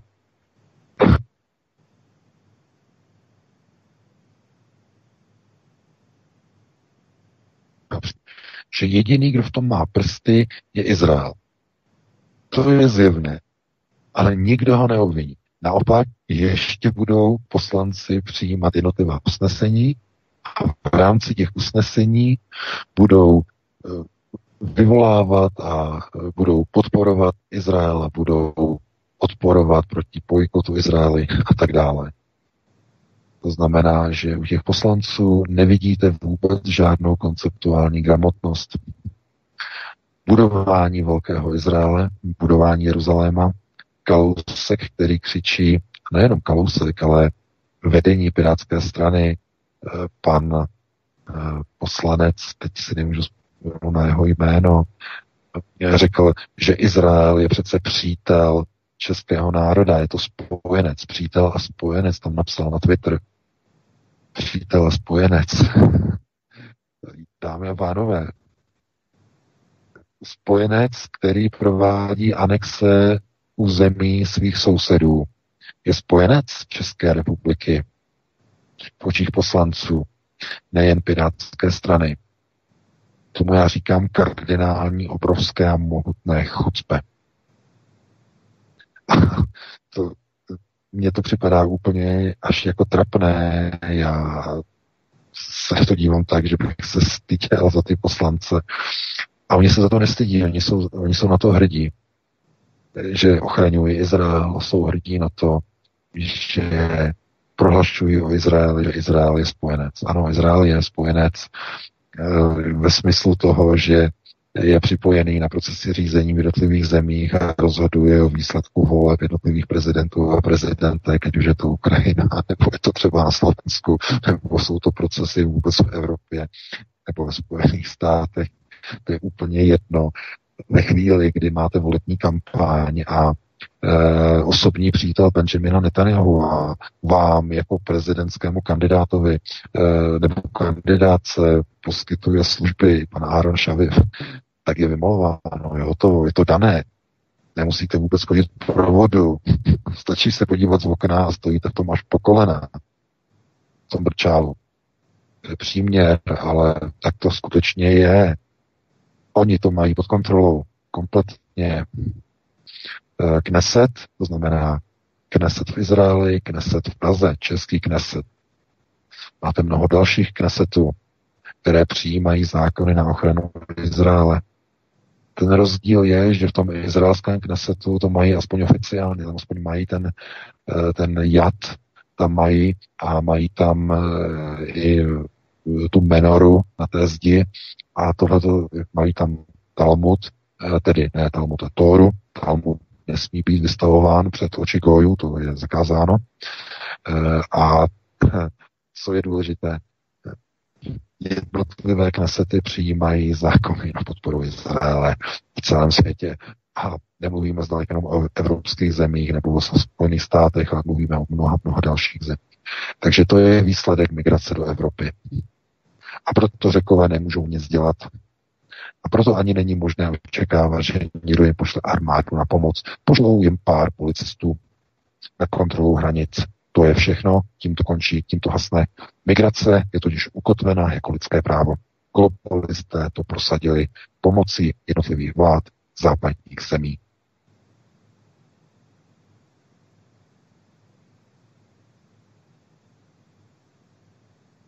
Halo Vítku, slyšíme se? Já nevěděl, jestli budeš pokračovat VK nebo budeš končit. Já ještě doplním k tomu, co jsi říkal ohledně pana Tožičky od Pirátů. Eh, tak eh, tam nešlo pouze o jakési nevinné sdělení nebo nevinný výrok před 11 lety, ale uh, vyšla na veřejnost i ta skutečnost, že on do Davidovy hvězdy kreslil hákový kříž, což byla právě míněna jako opravdu ta provokace, která nazvedla zde židlí mnohé lidi. Já si ani nedivím, to už je jako si myslím zahranou a opravdu antisemitismus. Kdyby se jednalo o výrok, eh, který v podstatě neobchází Izrael jako svatou krávu, eh, kterou eh, nemůžeme kritizovat, kterou mohou kritizovat pouze židé a gojové, fakticky tím, že se dopustí kritiky Izraele, tak se vystavují riziku označení za antisemitu, tak to je něco jiného, jakýsi výrok, ale tady šlo opravdu o tuto, tuto grafické znázornění a to si myslím, že to byla právě ta provokace z jeho strany. Ano, je to také tak, je to i kvůli tomu grafickému znázornění. To je obrázek mimochodem, který není výtvorem pana Tužičky, ale eh, to je obrázek, který eh, putuje po internetu už dlouhá, dlouhá, dlouhá léta, už někdy od, roku 2004 nebo 5. To je velmi starý obrázek, je to ta grafika, vlastně ta uh, izraelská vlajka, ta Davidová hvězda je přeformátována do hákového kříže uh, graficky a ano, samozřejmě, ale pokud bychom chtěli být historicky přesní a chtěli, by být, chtěli bychom být nekompromisní, tak bychom museli říct, že i když teda Izrael tehdy ještě neexistoval, to třeba říct, ale v roce 1933 Světový uh, sionistický kongres podepsal s vládou Adolfa Hitlera smlouvu Havara. Tajný dokument, který nakonec byl odhalen po druhé světové válce, ale smlouva Havara byla smlouva mezi světovým sionistickým, tehdy to byl tedy světový sionistický komitet, eh, nebo takzvaný výbor, a eh, Hitlerovou vládou. A bylo v této smlouvě Havara eh, uvedeno, že evropští židé dostanou na území Palestiny své pozemky, budou nakoupeny pozemky v Palestíně v daném sjednaném kurzu za prodej židovských majetků v Evropě. To znamená, že židé tím, že prodají své majetky v Evropě, získají vlastní území v Palestině, které bude v jejich majetku. Problém byl v jedné věci. Palestina v té době byla v majetku a pod kontrolou britské královské koruny. A pokud se ptáte a máte tam ten velký otazník nad těm, no když tedy Palestina patřila pod britský Commonwealth, jak tedy potom Berlín mohl nabízet světovému sionistickému kongresu v rámci smlouvy Havara pozemky v Palestině, co to je za blbost. No, jenže ono to má logiku. Protože Hitlerova vláda měla garance vykupování těchto pozemků Eh, tedy těchto eh, jak pozemku, nákupu pozemku, tak i prodeje a financování majetku od evropských židů s jednou britskou bankou, The Rothschild Bank, která byla garantem smlouvy Havara. A právě Rothschildova banka garantovala ze strany Velké Británie povolení prodeje pozemků v Palestině a jejich přidělení Eh, přistěhovalcům z Evropy, ze třetí říše a z Evropy jako takové, kde prodají Německu své majetky a pozemky. To byl ten původ plán. V dnešní době nikdo se k, tom, k této smlouvě nepřiznává. Nikdo ji nepopírá, to je třeba říct, ale nikdo o smlouvě Havara nemluví. Smlouva nakonec nebyla realizována, vypukla válka a nedošlo na tuto realizaci, protože došlo k nešťastné události, došlo k vypuknutí války mezi uh, Velkou německou říší, mezi Třetí říší a mezi Velkou Británií. A z tohoto důvodu uh, došlo k oné velmi zvláštní kauze návštěvě druhého muže Třetí říše, Rudolfa Hesse, který odletěl uh, za války do Velké Británie a chtěl údajně v té době, údajně chtěl vyjednávat mír se e, západními spojenci, znamená se spojeneckou armádou, aby e, se spojili Německo a západní alianční armády proti Sovětskému svazu. To je oficiální tvrzení které přišlo vlastně z Velké Británie, že to byl účel návštěvy Rudolfa Hesse za války a byl on byl zatčen a až, až do své smrti byl držen ve věznici Špandau. Nikdy ho nepropustili. Přičemž se nikdy nedopustil žádných válečných zločinů, ale byl držen až do své eh, smrti ve věznici. Proč? Z jakého důvodu? No, protože by vyšlo najevo, jaký byl pravý účel cesty Rudolfa Hesse bez vědomí Adolfa Hitlera do Velké Británie. Bylo to jednání s domem Rothschild na konečné řešení tzv. židovské otázky. To znamená, jakým způsobem realizovat smlouvu Havara a jakým způsobem ukončit válečné systémy řízení e, mezi, řekněme, e, takzvaným systémem řízení v Londýně a v Berlíně. To byla jeho hlavní práce. Protože se nelíbilo mnoha bankéřům, že probíhají některé procesy v Německu. Z jejich pohledu to bylo naprosto nepřijatelné, že Adolf Hitler se začíná odchylovat od původního Rothschildova plánu. Že na místo prodejů pozemků se tady v Německu realizuje trochu jiný proces, a proces, kdy ty pozemky jsou konfiskovány a probíhají bez zapojení domu Rothschild. Adolf Hitler už pochopil, že je jenom loutkou Rothschildova impérie.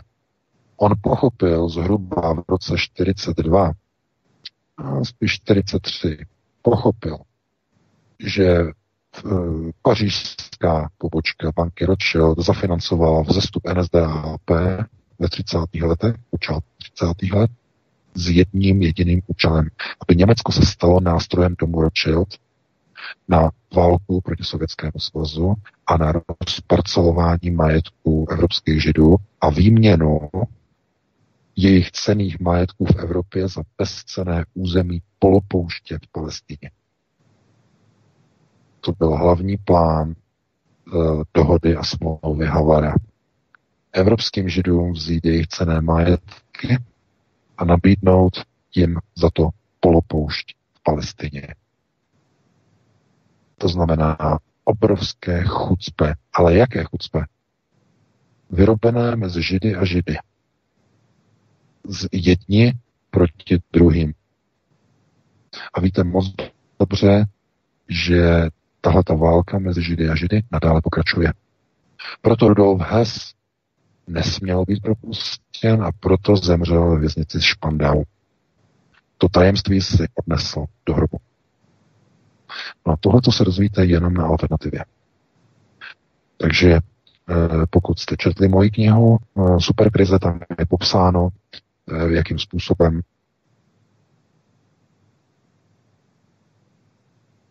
jak se dostal k moci, jakým způsobem eh, Adolf Hitler eh, pochází eh, z rodiny Rothschildovi, Rothschildova kmene, to znamená, měl původ v Rothschildově rodině jako levoboček a díky tomu dostal peníze od, řekněme, své rozvětvené rodiny.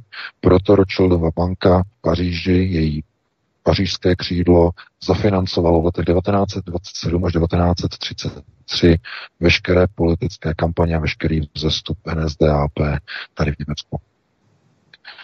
Tím je to dané. A tyhle ty informace, nevím znovu, jak eh, se asi eh, slyšíme nebo neslyšíme, já tady slyším nějaký echa, nevím, jestli vypadá. Slyšíme, úplně, úplně v pohodě. Slyšíme se dobře. Se jestli vypadávám nebo nevypadávám, ale mám takový prostě pocit, že tyhle ty informace někdo nechce, aby se dostávaly ven. Takže to je asi ten důvod těch jednotlivých útoků, to je asi ten důvod toho, proč Aeronet je takovým způsobem sledovaný a proč někdo nechce, aby tyto informace takzvaně vyplouvaly na povrch. Protože lidé znají nepravdivou podobu historie, nepravdivou podobu vzniku druhé světové války, nepravdivou podobu vzestupu Adolfa Hitlera k moci, nepravdivou podobu procesu po první světové válce v celé Evropě. Dokonce neznají ani pravdivou podobu vzniku Československa, které vzniklo pomocí zlata e, ruského cara. To zlato skončilo v amerických bankách, kde ho nechali legionáři, kteří cestovali z Vladivostoku přes Tichý oceán do Spojených států a potom zpátky do Československa. Byla to platba za vznik Československa. Československo vzniklo díky carskému zlatu.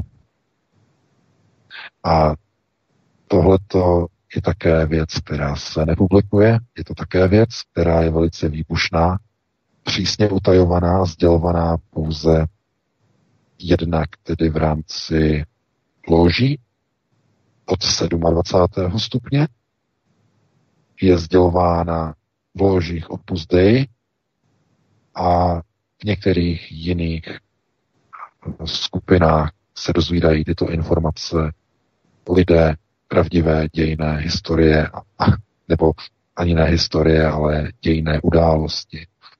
Historie je ezotoria, ezotoria je příběh podle Tóry. Ezotorie.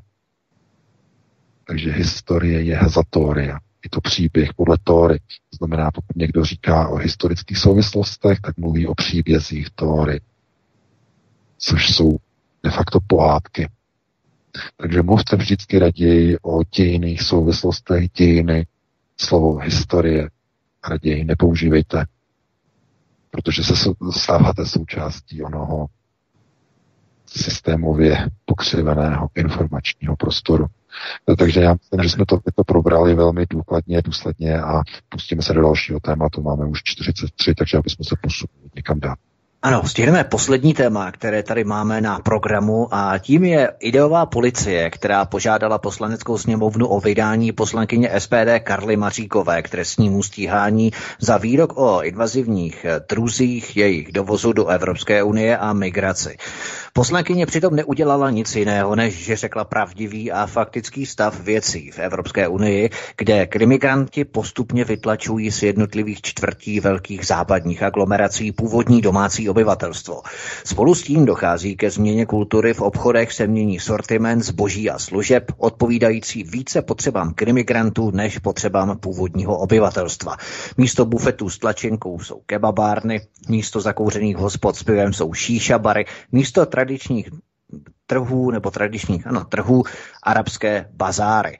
Myslíš, eh, VK, že mandátový a imunitní výbor vydá Karlu Maříkovou, protože i kdyby ji nevydal, tak ti šmejdi si jednoduše počkají, až jí vyprší mandát, poslanecký mandát a přijdou si pro ní potom, tak eh, uvidíme, jaký SPD kolektivně podrží a podpoří.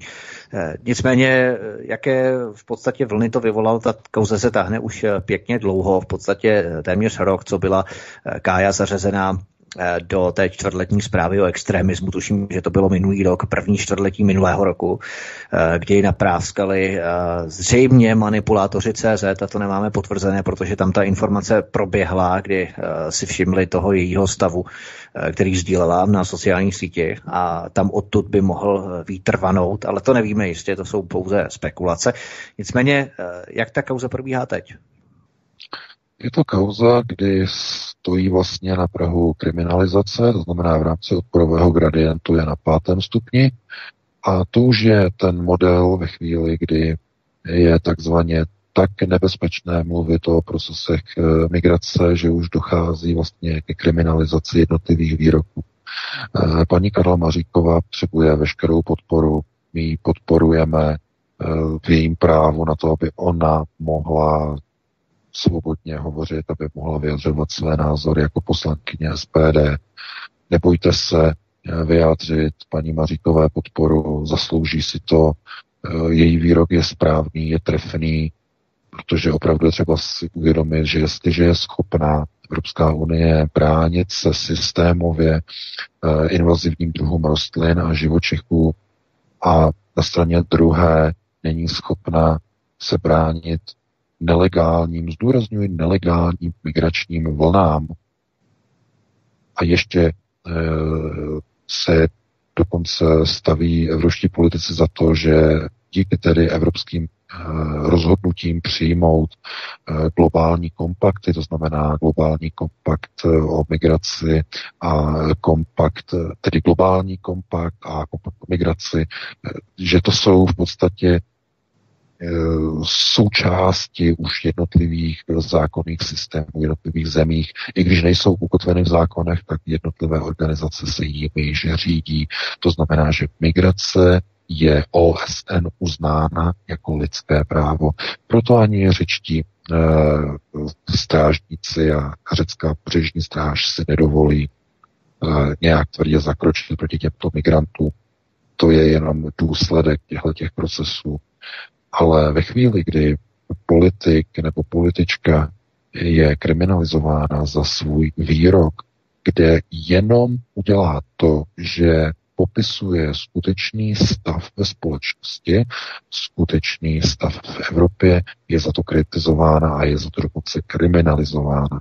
To je něco naprosto nepřijatelného. Znovu se ukazuje, že v tomto roce 2020, eh, rok dvou zmí, tedy v Kabale, se opravdu začínají urychlovat procesy. To znamená zatočit se všemi, kteří brání migraci. Urychlit nasunování migrantů. Vidíte rok 2020 a Erdogan zvedl migrační stavidla. Je tento rok a začíná nová, je jaro, nebo začne brzy jaro, začíná nová migrační vlna. A v Sýrii se pořád bojuje a začalo se znovu bojovat. Nikdo se tam tudíž nevrátí, tím je zaručena eh, ona systémová vize naprostého totálního exodu ze severního prostoru budoucího velkého Izraele. To je ta tragédie. A e, ten, ta migrace je součástí konceptuálního nástroje, kdy se spojí užitečné s plánovat. Užitečné je to, že se vylidní prostor Sýrie pro vybudování Velkého Izraele. To znamená, to je to užitečné a to plánované je, islamizace Evropy. To znamená, je to pomocí jednoho procesu, vy dosáhnete dvou cílů. Je to majstrštyk. Ale benefitovat z toho bude pouze Izrael. Pouze on bude benefitovat z procesu destabilizované a naprosto vylidněné Syrie. Je to neuvěřitelný proces, ale nikdo ho jakoby e, pořád z politiků nechápe, nikdo mu nerozumí a naopak politici se maximálně snaží ukazovat v tom světle, že jsou přátelé Izraele. Ve chvíli, kdy Izrael anektuje z území, ve chvíli, kdy bez jakékoliv odvety ruské armády bombarduje jižní a západní území Syrie. To je proces, který bude mít jenom jeden jediný výsledek spolupachatelství západních zemí na vybudování Velkého Izraele. To je tragédie. Podívejte se na to, jak chcete a dívejte se na to, jakýmkoliv způsobem vás napadne, ale to je fakt a to je realita. A nemůžeme s tím dělat vůbec nic jiného. A když Karla Maříková řekne, že by se měly zastavit migrační toky, je kriminalizována. Za to, že to přirovná k migraci nepovolených živočišných a rostlinných druhů. Je to naprosto, naprosto šílené. Jak se na to díváš ty, Vít? Eh, já s Kájou Maříkovou tady mám eh, mnoho rozhovorů na svobodné vysílači se jednotlivých jejich cest, eh, kdy monitoruje jako vedoucí delegace OBSE volby v jednotlivých zemích. Naposledy to bylo v Azerbajžánu, myslím, že 9. února to bylo v neděli. Ale nejhorší na tom je, te, nejhorší na tom je to, že tento systém je nastavený tak, že my se můžeme vyjadřovat, můžeme Káje vyjadřovat podporu, což bez pochyby mnozí budeme, nicméně ona sama, a to je právě na tomto otřesné, se nemůže vyjadřovat k této kauze její veřejně, ani veřejně, to je samozřejmě, prostě nemůže se vyjadřovat, protože by mařila policejní vyšetřování. A, takže ona se vlastně musí nechat odstřelit bez toho, aniž by mohla vznést jedinou námitku veřejně a veřejně se bránit a veřejně vysvětlovat a veřejně to dávat do médií. Prostě nemůže. To znamená, že prostor budou mít pouze ti, kteří ji budou kamenovat, kteří ji budou chtít odstřelit a ona sama nemůže vůbec nic veřejně sdělovat ohledně této kauzy. To je na tomto systému úplně to nej, nejšílenější, jo? protože samozřejmě by potom měla ještě další problémy s policajty a tak dále, s vyšetřovateli. Jo, takže to je vlastně na tom úplně to nejhorší, že fakticky ona je v pasti a ona nemůže teď nic dělat. Ona nemá žádný manévrovací prostor. To je naprosto šílené. Já vůbec nechápu, jakým způsobem eh, ta společnost se za 30 let takhle transformovala ze, eh, no, můžeme říct, velmi svobodné společnosti první polovina, zejména první polovina 90. let, nemluvíme teď o privatizaci, to byla tunelařina neskutečná, ale co se, co se týkalo svobod, to bylo neuvěřitelné, to bylo opravdu svobodné období. To určitě si pamatujete, že mohli se dělat vtipy o spoluobčanech, že jo, o Romech, o cikánech mohli bez problému, nebyl problém. Eh, mohla se vysílat na české televizi nekorektní česká soda eh, s panem Izerem a s panem Dobrodinským. Mohli se, mohlo se vysílat ale z Gute, také že jo, divadlo Sklep, teď si nemůžu vzpomenout na oba dva protagonisty. A všechno to jako procházelo, všechno to bylo v pohodě, ale potom se začaly utahovat šrouby. E, potom se nesměly už některé věci vysílat, skončila Česká soda, skončilo ale z Gute, e, museli některé nekorektní e, pořady úplně zmizet. Možná si vzpomínáte na prací prášek Ariel, který vypere do čista do čista, tak plně do bíla, to znamená, to bylo velice vtipné, s tím nejdřív je, jako, jako, je to jako černoušek a potom je úplně bílej, že Ariel ho vyčistil. To byly velice z dnešního pohledu brutálně dnešního pohledu nekorektní vtipy a televizní skeče a gegy. To byla svobodná doba. Orlík, eh, Daniel Landa, vysílaný v rádiu, v mainstreamových uh, vysíláních, naprosto bez problémů, hraný, uh, Orlík, eh, možná si vzpomínáte na tu jejich nejslavnější skladbu eh, Bílý jezdec, jede tmou. To byl hit počátku 90. let a to už je všechno dávno pryč. Nikde už to neuslyšíte. Svoboda postupně byla utahována, utahována, utahována teď po 30 letech najednou vidíte, že už chtějí kriminalizovat ty poslance za to, že řeknou, že když se zakazuje dovoz invazních druhů a rostlin, že je třeba zakázat imigraci. Okamžitě je tam nálepka, okamžitě je tam e, šíření nenávisti, podněcování, podněcování nenávisti a je tam trestní stíhání. Víte, kolik těch trestních stíhání by bylo v polovině 90. let, kdyby tehdy se uplatňoval stejný mustra metr jako se uplatňuje dnes, to by všechny soudy počátkem 90. let skolabovaly. To by byly miliony uh, udání a miliony obžalob. A vidíte, a tehdy to bylo v pořádku, protože ta společnost ještě v tehdy byla zdravá. Byla zdravá z dob komunismu, kde paradoxně byla větší svoboda vyjadřování, než je dnes v celé Evropské unii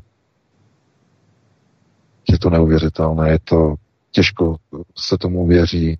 Lidé, kteří to nezažili, tak věděli, že nesměli uh, před rokem 90 kritizovat třeba komunistickou stranu. To bylo zapovězené, ale jinak jste si mohli říkat, co jste chtěli. Dneska uh, vás uh, terorizují a šikanují za naprosto neškodný názor, za to, že vyjádříte svůj názor na odpor imigraci. Je to naprostá tragédie nevím, jestli si vůbec lidé jako uvědomují, v jaké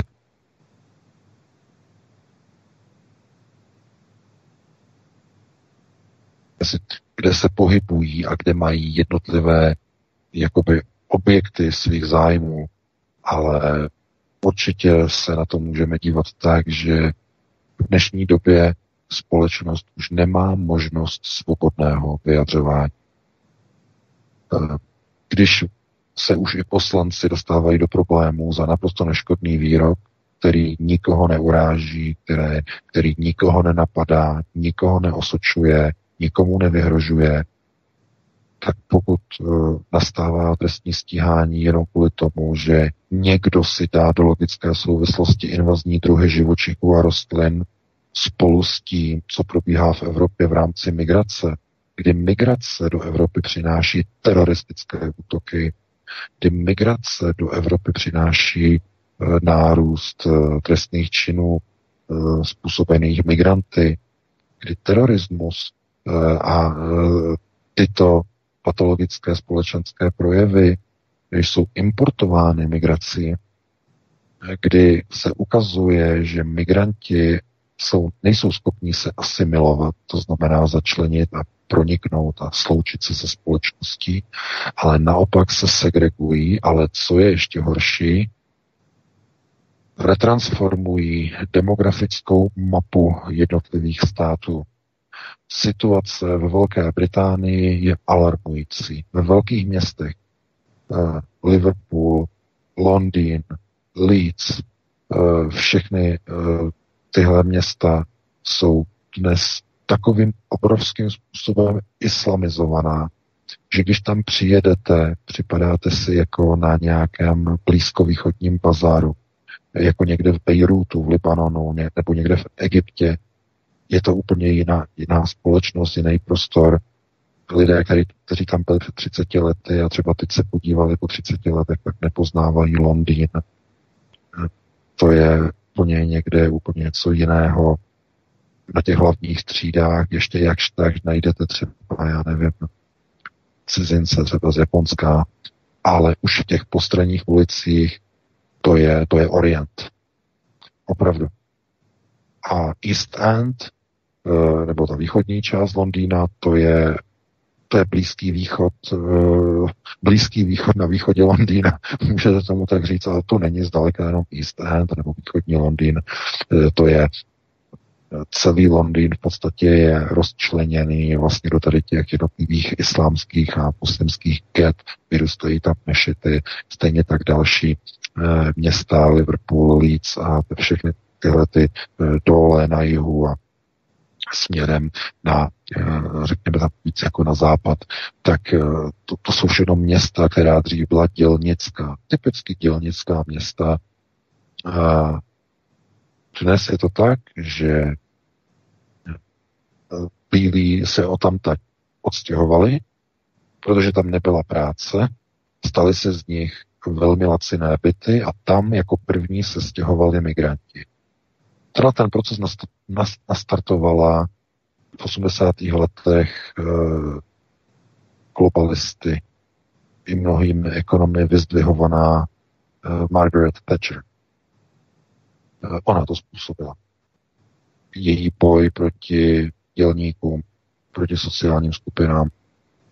Ona byla velice tvrdá, je říkali Iron Lady, železná dáma, ale ona nastartovala ten proces eh, vylidňování dělnických, typických Sheffield, že jo, úplně město, hornické město, uh, úplně vylidněná. Uh, na počátku 90. let se padly ceny nemovitostí a právě počátkem 90. let začala mohutná pakistánská migrace do Velké Británie. A první, co oni udělali, že šli do nejlevnějšího bydlení. Uh, nejlevnější to bylo na East Endu, Eh, Londýn, východní část, eh, Sheffield, Leeds, Liverpool. Tam oni šli. A dneska jsou tam největší islámská geta v Evropě. Stovky tisíc muslimů, miliony v celém království britském. To je proces oné islamizace a tohle je napl- tenhle proces je naplánovaný pro celou Evropu. A kdokoliv řekne jediné slovo proti migraci, skončí jako Karla Maříková. vidíte, že nehrajeme si žádné hry, nehrajeme si na e, nějaké špatné prognostiky, pouze komentujeme to, co se stalo. To, kde už je hotovo. Pouze to si říkáme. A divili byste se, kolik se objeví lidí, kterým se nelíbí, že tady ty informace se dostávají na veřejnost. Divili byste se, kolik lidí má pocit, že migrace je vlastně docela fajn, že migrace je objektivní, že migrace přinese pracovní příležitosti a vyplní mezery eh, v neobsazených zaměstnaneckých místech v jednotlivých továrnách. Všichni vědí, že to není pravda, ale budou to tvrdit neustále do omrzení. Tam, kde jsou volná pracovní místa, tak tam přijdou laciné pracovní síly ze zemí, kde lidé umí ještě pracovat, to znamená Bulharsko, Rumunsko hlavně Ukrajina. To je ta migrace takzvaně z východu. Ale co se týče tady západního prostoru, tak to je migrace zásadně pakistánská, zásadně afgánská, základ, zásadně z Blízkého východu a zásadně z Afriky a nejenom z té severu. To znamená černá a arabská muslimská migrace. Musíme tomu odporovat a musíme naopak podpořit každého poslance z jakékoliv politické strany, který, který se nebojí tyto procesy kritizovat. Proto podporujeme e, paní Karlu Maříkovou z SPD v jejím boji za právo na svobodu vyjadřování. Takže takhle bych to ukončil, dáme si, uh, já nevím, no, 6 minut přestávku, výtku a pustili bychom se potom do telefonických dotazů. Jako, jako vždycky, já jenom doplním na konci VK, že ta, ten stav, status eh, Káji Maříkové, tak eh, to kolovalo na sociálních sítích ještě snad půl roku předtím, pro boha. A sdílelo to hodně lidí a ohledně eh, živočišních druhů a živočichů, které Evropská unie zakázala do Evropy, kromě migrantů, kteří do Evropy mohou a tak dále, tak to kolovalo všude různě. To si pamatuju. Prostě na internetu to sdílel kde kdo. Tisíce sdílení to mělo. Ano. To je něco podobného jako s Nelou Liskovou. Jo? To taky sdílela věc, kterou sdílelo tisíce dalších lidí. A oni si vždycky vyberou jednoho člověka, ten uh, bude pranířovaný a postavený jaksi Eh, na ten pranýř, na ten pomyslný eh, jako podstavec, eh, kde do něj budou tlouct a říkat, jak je to hrozné, co sdílel a tak dále. Byť je veřejně činná osoba, to je samozřejmé, ale prostě mohlo být vnímané i jako satira částečně. Co tak vnímané i bylo, jako satira, satirický vtip pro boha, už si nemůžeme dělat ani legraci, jo, takže tady ty věci prostě probíhaly na sociálních sítích a ona nebyla jediná, která to sdílela, což je na tom ještě to horší, že v podstatě si vybrali jí, a na kterou, které delegují, na kterou soustředí tu svou, ten svůj hněv, zlobu a nenávist, že někdo si dovolí mít výhrady proti neřízené migraci. Takže to jenom nakonec. Já myslím, že PK, chceš tomu ještě něco sdělit, doplnit? Já bych jenom řekl, že oni si vybrali eh, paní Maříkou kvůli tomu, aby z ní udělali exemplární případ a příklad.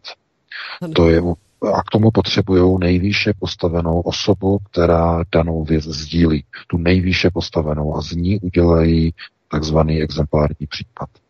Jo, to je ten důvod, že si nevybrali nějakého, uh, nějakýho, nějakého Honzu Nováka z Horní Dolní, ale vybrali si politicky exponovanou osobu. Je to opravdu čistě účelová akce takzvané ideové policie, nemůžeme to nazvat, nazvat vůbec nějak jinak, je to ideozločin, zcela jednoznačně kvalifikované jako ideozločin a stíhá ho ideová policie. Můžete se na to dívat jako na román 1984, eh, eh, nebo 1984 z Orwella, úplně stejné, to znamená, máte nějaké churavé myšlenky, něco jste někde řekli, je to zaznamenáno a musíte se z toho zpytovat nebo musíte prostě e, být předmětem e, nějakých útoků, které mají váš čin veřejně jako odsoudit a diskreditovat. Z tohoto důvodu já se obávám, že oni s tím nepřestanou, oni můžeme si typnout, jestli tady mandátový a imunitní výbor paní Karlu Mařikovou, jestli vydají a Bylo by pěkné, kdyby nevydali, jenže to nic nemění na tom, že jakmile jí skončí mandát, eh, tak eh, oni potom můžou potom ex post stíhat po skončení mandátu. Takže tady potom by bylo třeba to nějak zařídit, aby dostala mandáty poté a tak dále a tak dále a tak dále. Hmm. Uh, tak uh, budeme končit v druhé hodině. Helenko, ty si chtěla ještě něco doplnit? Já jsem se všiml, že jsi tam chtěla něco říct, nebo ne? Ne, ne, ne, to bylo jenom ne. souhlasné překyvování. Já si myslím, že teď Jasně. Bude následovat zase hudební přestávka a s ní Karel Zich. Nezapomeňte se prosím přihlásit k odběru tohoto kanálu svobodného vysílače, abyste nic nezmeškali. youtube.com lomeno c lomeno radio sv studio tapin radio. Dejte si prosím odebírat tento kanál kliknutím na červenou ikonku v horní pravé části obrazovky s nápisem odebírat a zaškrtněte také symbol zvonečku, abyste byli informovaní o nahrání každého nového pořadu. Tím také nepřijdete o čerstvé premiéry a rozmanité kauzy, které můžete dále sdílet na sociálních sítích. Stejně tak jako Helenka Vondráčková, která ve své písničce zpívala Já půjdu dál, půjdeme i my dál a to k vašim dotazům, vážení posluchači.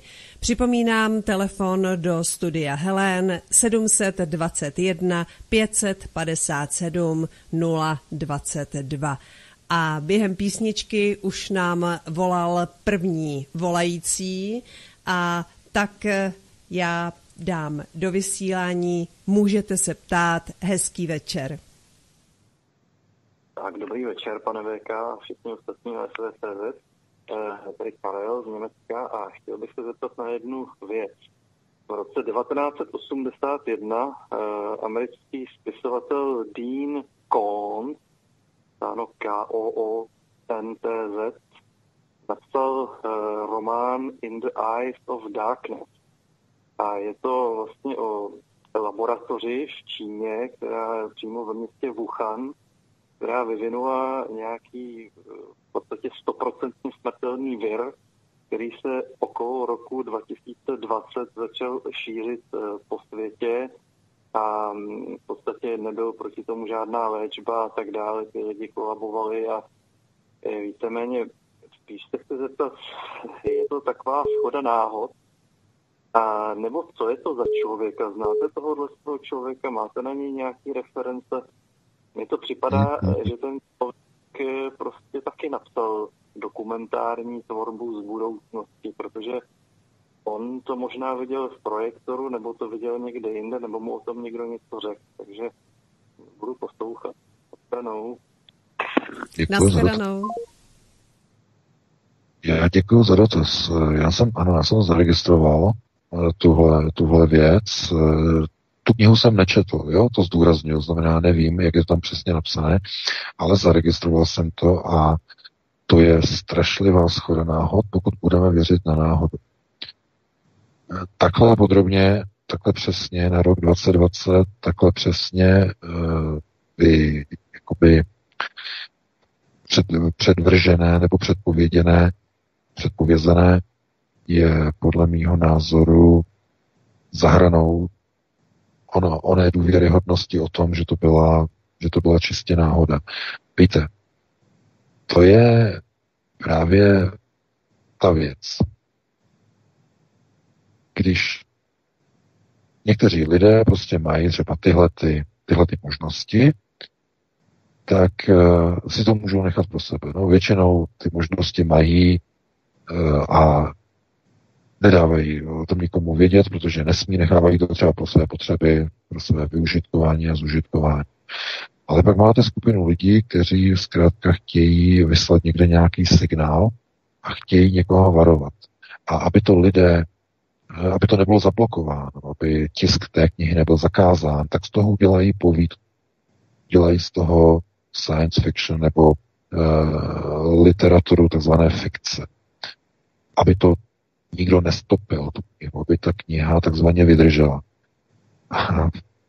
Tohle je docela možné, že tohle je přesně ten případ. To znamená eh, vize, eh, možnost schlédnout některé procesy, které se mají odehrát, ať už tedy v rámci projekce, nebo jsou i některé jiné způsoby. A eh, on vidí, co se stane. To znamená, popisuje ten obraz a ví, že to je prostě s, nějak, s nějakým přesahem nějakých uh, prakti, prakticky, říkat, 40 let a on to vidí zkrátka dopředu. Napíše o tom knihu a po těch 40 letech se najednou všichni diví, jak je to možné.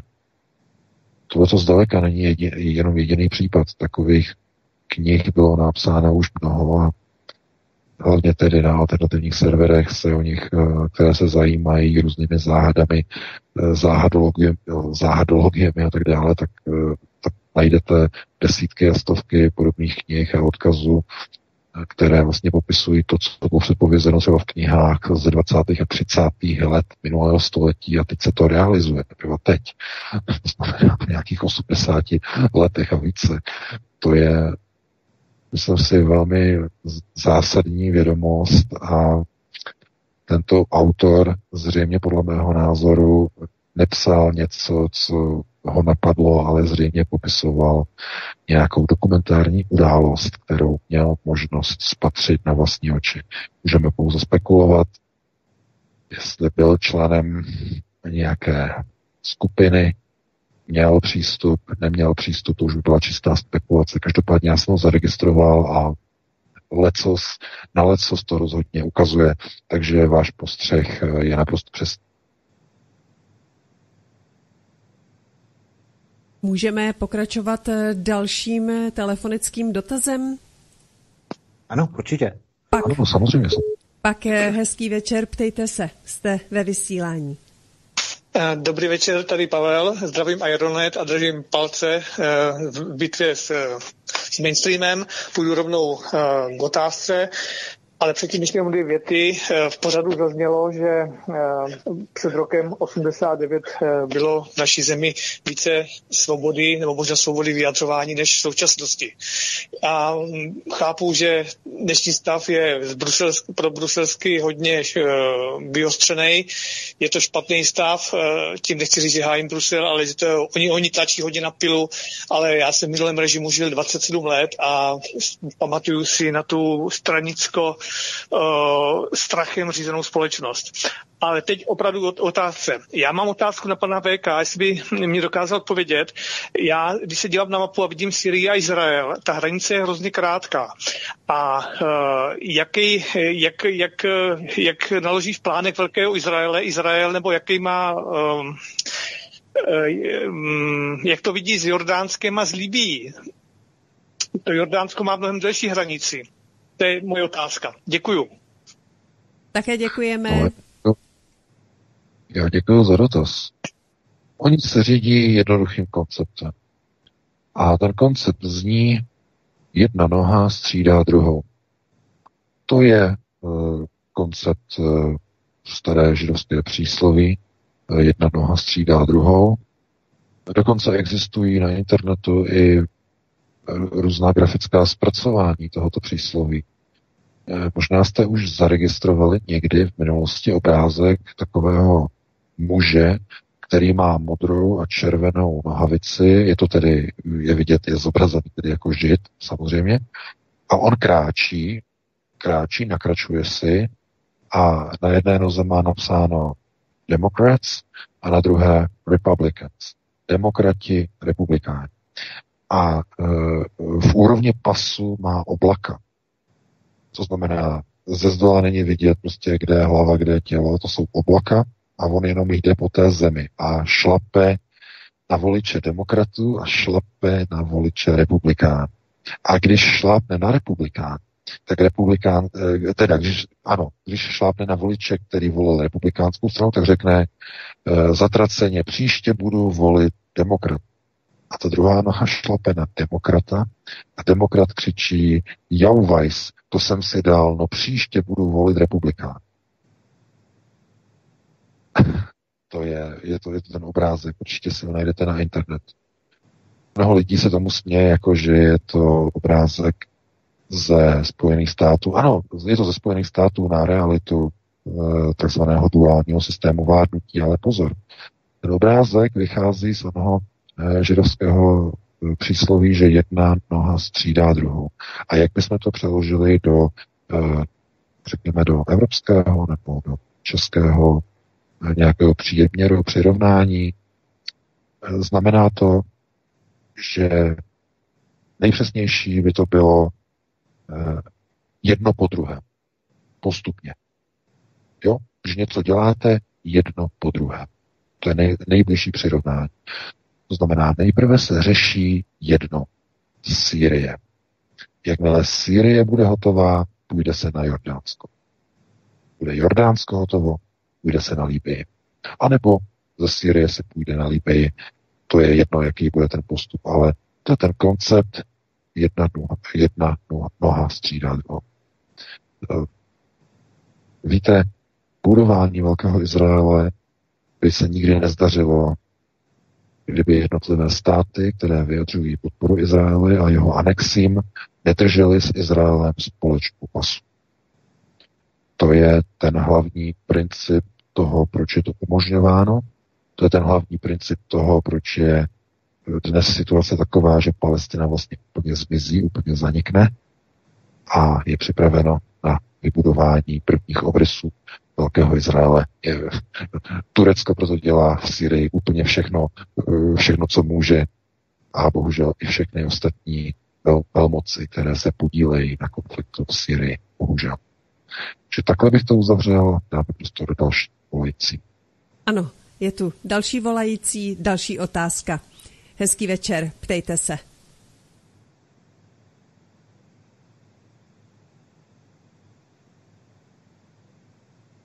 Tak eh, nemáme zvuk telefonujícího. Já nevím, Helenko, jestli ty to slyšíš eh, na svém studiovém zařízení a do vysílání to nejde.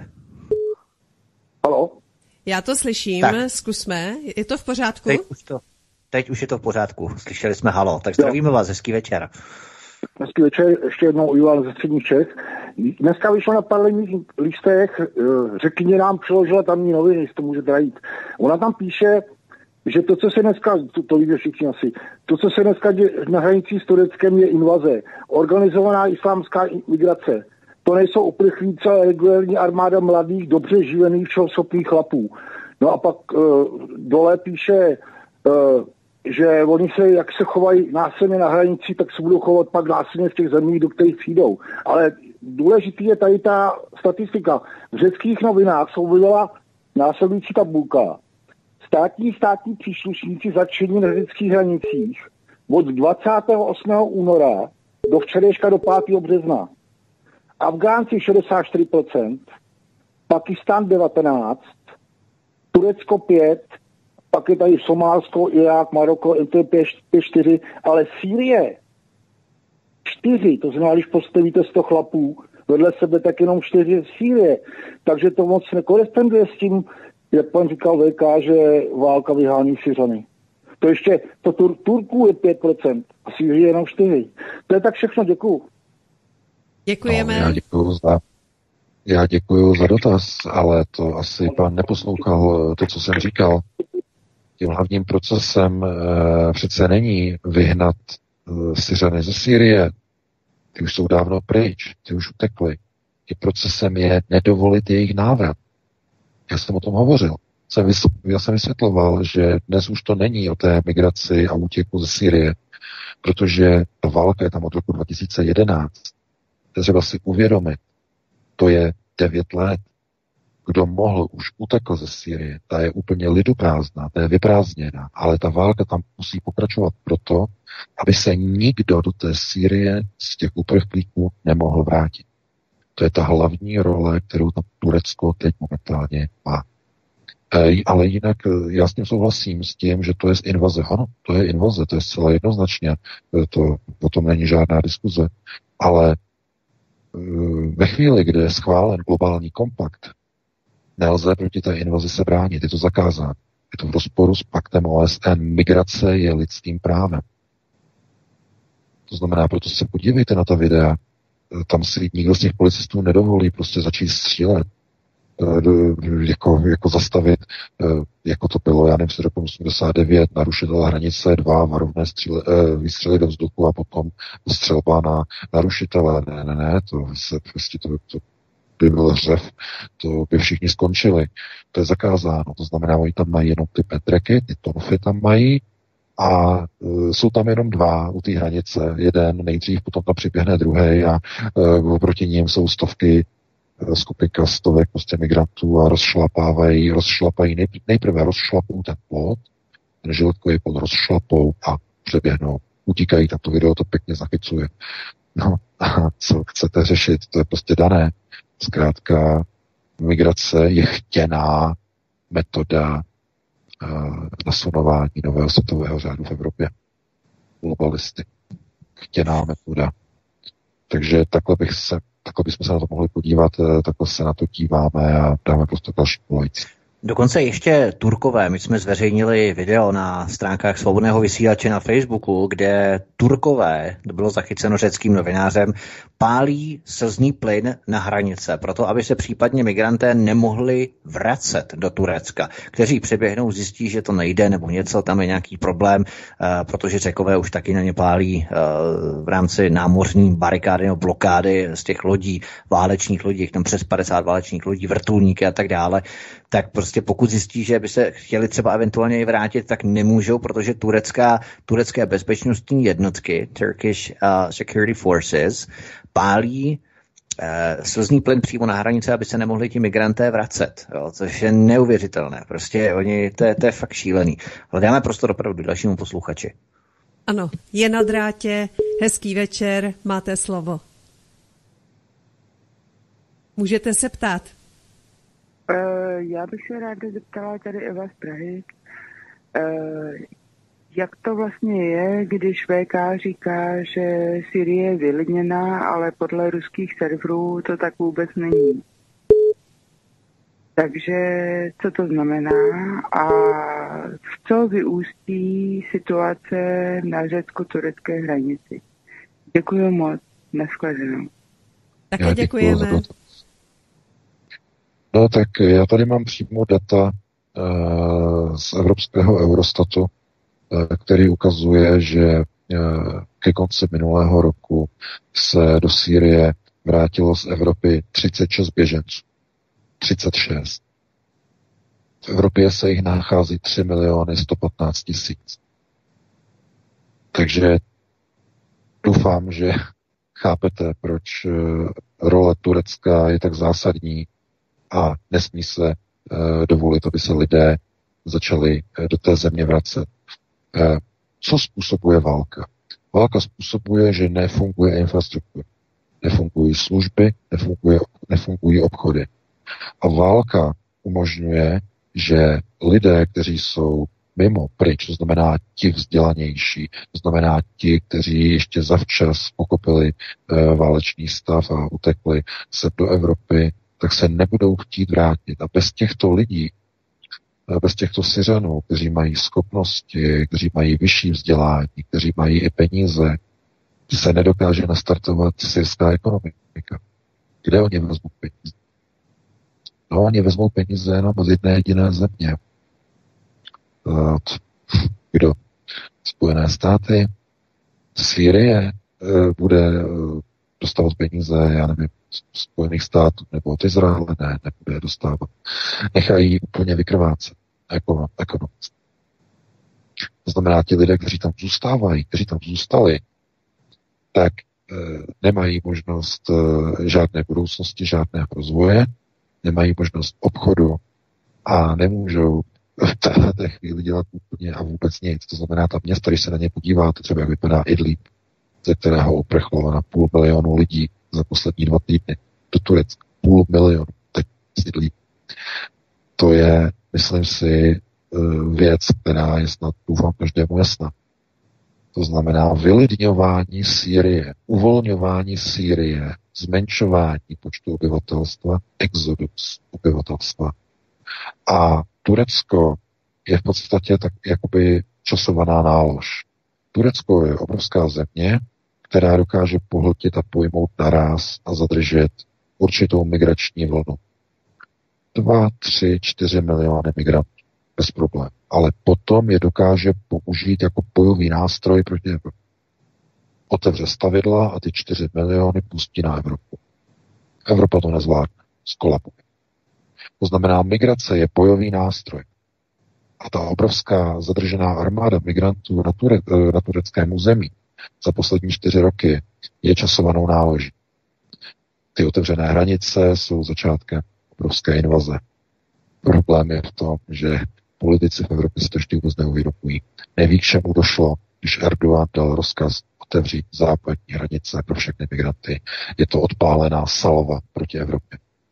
No ale to je proces, který eh, vyhovuje samozřejmě Izraeli, protože tím dochází k indukci, řekněme, o něch procesů, kdy v Sýrii je mír v nedohlednu, naopak je tam zaděláno na nekonečnou trvající válku. Nikdo se do té země nevrátí, ekonomika té země bude neustále kolabovat. Je to součást toho zásadního ekonomického principu, takzvané, takzvané hybnosti. Rusko nebude moci nějak ekonomicky pomáhat Syrii, vojensky ano, nějakou dobu, ale problém je v tom, že Sýrie, tak jak je teď nastavená, bez vlastního obyvatelstva, bez stability nedokáže ubránit a uchránit vlastní území před jednotlivými okupačními mocnostmi a už vůbec ne před Izraelem. Takže takhle bych to uzavřel a dáme prostě další volající. Ano, opět další volající je na drátě. Dobrý večer, ptejte se. Dobrý večer, tady Lenka. Já jsem chtěla jenom tady poprosit, jestli nás poslouchá někdo kompetentní.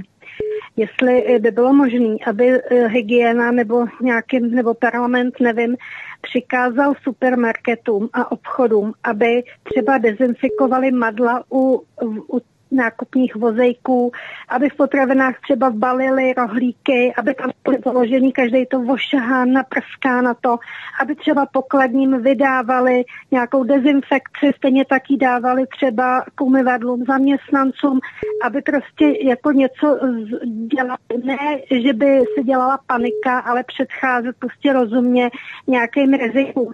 Já jsem oslovila ředitele jednoho řetězce u nás a ten mi řekl, že nebudou dělat paniku, takže nebudou dělat žádný opatření. Na mě to teda přijde tak nerozumný.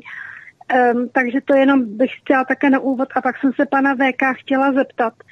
Uh, včera šla zpráva, že Putin uzavřel s Erdoganem nějakou dohodu o příměří v okolí Idlibu. Tak jestli to má nějaký vliv nebo bude mít nějaký vliv na tu situaci v Sýrii a na migrační vlnu.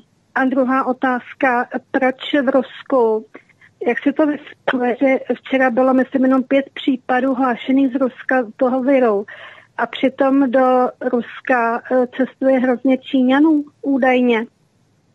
Taky jak to, že se to tam nějak nešíří. Takže to příměří a ten vir e, ve e, Ruské federaci. Jenom pět no, případů. Děkuju. Děkujeme. Já se jenom vyjádřím i k té uh, první poznámce o těch nepalených potravinách, nepalené pečivo. To je zásadní problém. To je zvyk, to vidíte, to vidíte úplně všude, nepalené pečivo, nevím, jestli je to zvyk, ale to je všude, to je ve všech zemích Evropské unie, kde se prodává nepalené pečivo. Lidé nedodržují zásadní hygienické předpoklady, neberou si uh, ty mikrotenové sáčky, nebo to nejsou sáčky, to jsou spíš rukavice, aby nabírali to nepalené pečivo tou rukavicí. Tak málo lidí to dělá. Já nevím, jestli to někdy sledujete, ale to je tak, tak málo lidí prostě si vezme ten mikrotenový eh, tu rukavici a aby prostě nesahalo a to je úplně co jako opravdu nesnáším, tak lidé testují to je zvyk. Já myslím, že tohle jako se prostě objevuje, třeba jenom je to zvyk, třeba nevím, Česku a podobně. Ale ne, je to i tady v Německu. E, prostě to je pořád jako omakávání pečiva, jestli náhodou není tvrdé. To opravdu nesnáším. To znamená, lidé mají špínu za nechty a třeba nemají, uh, já nevím, mají špínu za nechty, nemají umyté A teď prostě těma prstama uh, zkouší, jestli, já nevím, ty bagety, jestli to je prostě měkký, nebo je to kus uh, tvrdýho nějakého dřeva, mačkají do toho a někdy se stane, že tu krustu promáčknou. A víte, co se stane? Promáčknete krustu a ta špína spod toho nechtu zůstane na, to, na, na obrubě té krusty toho rohlíku nebo té pakety. To, to byste se pozvraceli. A lidé tohleto pořád dělají. Takže já bych doporučoval palit e, pečivo, aby bylo palené, zásadně palené, standardně, nejenom když je koronavirus, ale standardně. Opravdu, standardně palit. Nedávat to jako prostě kusové volné pečivo. Je to strašně nehygienické, protože lidi nedodržují ty zásadní hygienické předpisy. Co se týče tohohle, e, té druhé otázky, co se týče e, do Ruska, že jezdí prostě Číňané. Ne, Číňané tam teď nejezdí, prostě všichni jsou v karanténě a jsou omezené lety. Tam teď nikdo nejezdí do Ruska v téhle chvíli. Jezdí tam pouze někteří Číňané, kteří vlastně jsou takzvaně proklírovaní, mají clearing, ale jinak eh, eh, čínská aerolinky teď zrušily tisíce letů a nikdo ne, ne, nelítá nikam, ani do Ruska. Eh, takže to je jasné, proč mají předpisy, nastavené předpisy a tohle to je naprosto jako zjevné, že z jakého důvodu Rusové vlastně mají uh, ta, ta, pokud mluvíte třeba, já nevím, o cestování Číňanů uh, směrem do Ruska, no, oni, oni cestují, to je jisté, že cestují, ale cestují třeba do oblastí, které vůbec nejsou obydlené. Velmi důležité. Cestují do, no, do uh, sibirských měst, do malých uh, vesnic, kde jsou centra těžeřských čínských firm v Tajze, Eh, kde žijou jenom Číňani, mimochodem. To, to jsou normálně vesnice, které Čína koupí, vykoupí od majitelů a jsou z nich čínské vesnice uprostřed tajgy, uprostřed Sibiře jsou čínská malá městečka, malé vesnice jenom z Číňanů, protože je vykoupili od místních chudých Rusů. No, o tom se nepíše na ruských serverech. Nevím z jakého důvodu. Mělo by se tragédii. Ale to zase by bylo na jinou diskuzi. Však víte, problém je v tom, že znovu eh, alternativa nehledá v mnoha ohledech pravdu, ale hledá jenom potvrzení vlastní pravdy. Eh, tohle to platí o mnoha, mnoha ruských alternativních serverech, eh, platí to o na serverech jinde, v jiných prostorech. Uh, otázkou je tedy, jestli lidé hledají teda skutečné obrysy pravdy a ne, nebo hledají jenom svůj modul, svého mesiáše. Proces, který umožňuje ruská vláda ohledně Sibiře, ohledně nerostného bohatství čínským firmám, je naprosto šílená. To, to, je, to, je, to je naprostá šílenost. Rusko by mělo být schopné, uh, když už tedy těžit to dřevo, když už těžit nerosty, tak těžit ruskými zdroji, tedy ruskými prostředky, ruskými firmami, ruskými zaměstnanci, e, ruská výroba, ruské zpracování dřeva a vývoz do Číny. Tohle to bohužel nefunguje. E, na Sibiři se prodávají lesy a stojato čínským firmám. E, a to nedělá jako vláda. Ty lesy prodávají místní guberny, místní gubernátoři v mnoha ohledech skorumpovat čínskými biz, biznesy, kteří je uplatí a oni jim dají claim, dají jim povolení k vytěžení třeba 50 hektarů lesa, vznikne čtverec obrovský, e, potom se rozšíří a tak dále a tak dále, to znamená těžení na stojato, e, Číňani si přivezou svoje harvestry z Číny, vytěží to, něco strčí prostě gubernátorovi a já myslím, že to ví jako v Rusku, v Kremlu, ale zatím proti tomu nikdo jako nezasáhl. Ale jak říkám, to už zabíháme do jiného tématu. A paní Lenka se ptala ještě na jeden dotaz. A teď si nemůžu vzpomenout. Uh, Vítku, uh, Zkuste to opravdu krátce, protože už čeká další posluchač příměří Ruska a Turecka v rámci Idlibu. A ano, ano, to jsem zaregistroval. No samozřejmě, co je to příměří? No příměří je zakopání se v pozici. To je z vojenského hlediska příměří. Armády zůstávají na místě, namířené zbraně, ale zatím se nestřílí. To znamená, nikdo přes tu linii neprojde. To znamená, ten status quo je naprosto ideální. Izrael si může tleskat, protože špinavou práci za něj dělají jiné mocnosti a jiné armády. To je naprosto dokonalé. Ale to by bylo na jinou diskuzi, už jsme o tom hovořili, takže nám prostě další volající. Další volající je ve studiu. Hezký večer. Ptejte se. Ano, dobrý večer. Zdravím vás, dámu a pána ve studiu. Zdravím i pana VK, všechny posluchače. Eh, chtěl bych od toho prokletýho viru se trošku odprostit a e, dát něco z domova. Dneska jsem se dočetl na Sputniku. Jedná se o, o Moniku Holmajerovou, že o tu europoslankyně. Já nevím, jestli jsem přijal nebo nepřijala vlastně. Měla tady dělat ty pořádky ohledně těch evropských dotací, jak se mají přerozdělovat a vyčnit Babišovi, jak zachází s s evropskýma penězma a takhle. A Babiš si to nenechá líbit, že on něco řekl, že tomu nerozumí a takhle. A dneska na Sputniku vyšlo, že na Facebooku milionu chvilek se tento, tento spolek paní europoslankyně omlouvá omlouvá, že se stydí za to, kam se česká politická kultura eh, dostala, eh, že, je lít, že jim je líto, jak se náš premiér chová a, a, ta, a takové věci. Chceme, aby veřejn, veřejnému prostoru dominovala laskavost a kritické myšlení, což od nich skutečně sedí to kritické myšlení a odvaha. No, chtěl bych se zeptat, jo a jakoby bombonek takovou tečku předali paní Holmajerové ohromnou kytici, kde se, se jí tak vlastně omlouvají. Je tam fotka na jejich Facebooku s nějakou tou aktivistkou a s paní Holmajerou, jak ji předávají kytici a jak prostě jsou strašně rádi, že se jí takhle mohli omluvit. Chtěl bych se zeptat, pana VK, co na to, že prostě takovéhle akt servility, to, to už je prostě něco příšerného, co se tady děje, jaký má na to názor a jestli to slyšel nebo čet. Děkuju a budu poslouchat. Mějte se pěkně. Také děkujeme za dotaz. No, já děkuju, ale děkuju za dotaz, ale to je pouze opakování minulosti v rámci systému Zeitgeist. Společnost, která se nepoučí ze své historie, je donucená v rámci takzvaného ducha času proces opakovat. Uh, jestli si vzpomínáte, co to byla česká obec fašistická za protektorátu, No, tam měla svoji skupinu, organizaci, která pořádala demonstrace za takzvanou německou věc, za německé pořádky. A to byla e, fašistická mládežnická obec. Česká obec, e, fašistické mládež. Česká obec, ano, Česká obec fašistické mládeže. To bylo jejich křídlo. Víte, co to křídlo dělalo? Dělalo demonstrace proti uh, Edvardu Benešovi a jeho uh, exilové vládě v Londýně. Dělalo demonstrace na podporu Berlína.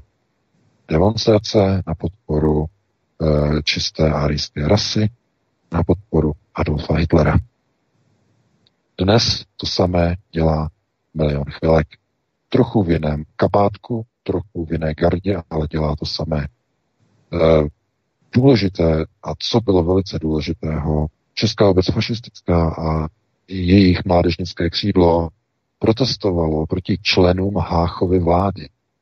To je takové to chucpe.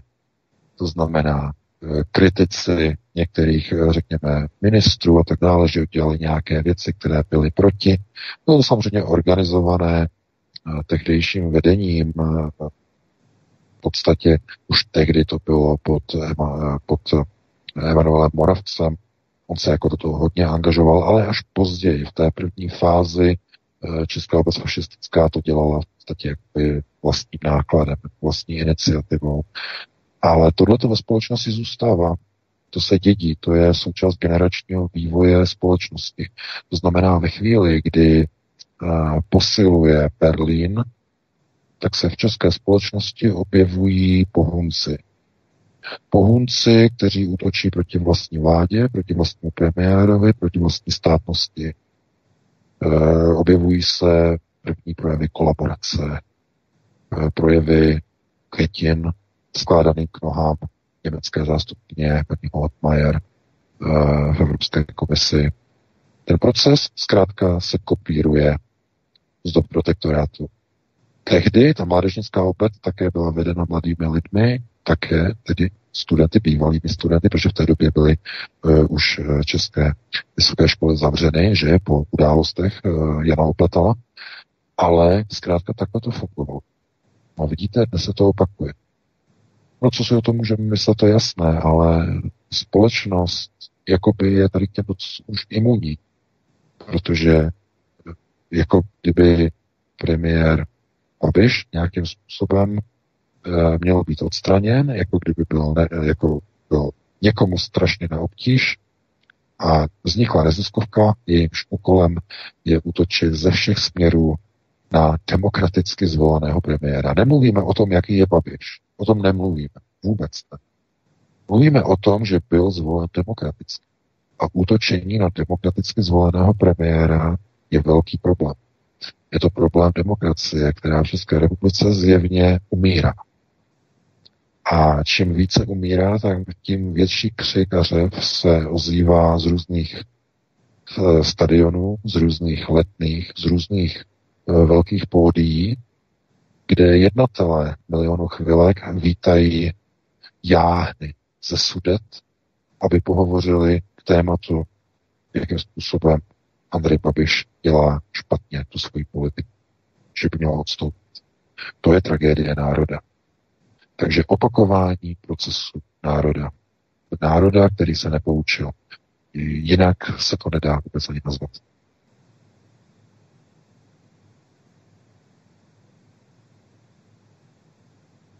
Můžeme... Tak můžeme... Další telefon, ano. Já teď využiji chvíle, kdy telefon nezvoní, protože tam byly dvě SMSky, tak jedna z nich. Zdravím pana VK i svobodný vysílač. Chci se zeptat, zda má ten velký Izrael, o kterém jste mluvil, spojitost se svědky Jehovovými a jejich božím královstvím. Děkuji za případnou odpověď L. Malá. No, tak to je pěkná otázka to je zase svět, svědci Jehovovi. Počátkem 90. let se objevili v Československu, to jistě víte, byli legalizováni a e, já bych se nerad e, jako dotýkal prostě tady těch náboženských věcí a to z toho důvodu, že mnoho tezí svědků Jehovových, JHVH, přechází z židovské, z takzvané židovské Bible. A pokud bychom rozebírali teze, eh, to znamená linie Jehova, tak eh, bychom tam našli jednu zásadní věc.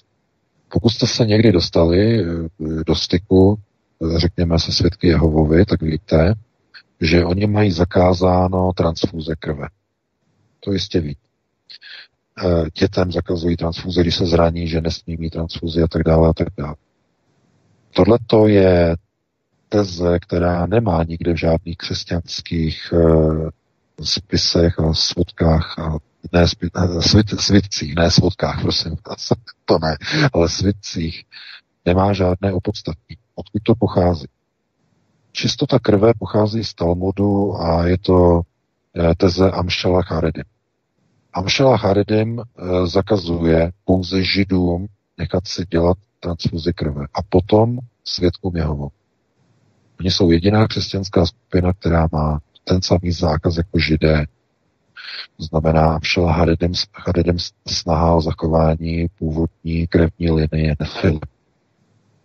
To je asi, přičemž, pozor, je důležité říct, že to neznamená, že členové svědků Jehovových mají krevní linii Amšela Karidy, to znamená onou židovskou čistou, eh, která vychází od eh, architektů, eh, to znamená od Nefile, ale to je trošku myšleno jinak, že oni to převádějí do takzvaného konceptu jednotné krevní linie od rodu. Rod, krevní linie, zachování, to znamená čistota, aby se nedostávaly jiné krevní linie do rodového krevního řečiště. Je to trochu komplikovanější, ale ten koncept nemá s křesťanstvím nic společného. Koncept je převzaný z Bible, tedy z Bible, z Talmudu, ale z takzvané židovské Bible, to znamená z onoho talmudického výkladu, kde se hovoří o Amšela Charedem, to znamená o lidech, kteří se nesmí uh, dávat do svazku uh, s, s, liniemi, s liniemi, které, které nemají čistý původ a Tyto linie zaručují takzvané předávání kompendia. Co je to kompendium a znalosti a tak dále, to je v té mojí nové knize Superkrize. Ale e, tohleto svědci Jehovovi právě nemají z takzvaných liturgických konceptů křesťanství, to je převzaté z židovské Bible. Je to koncept Amšel Karedim.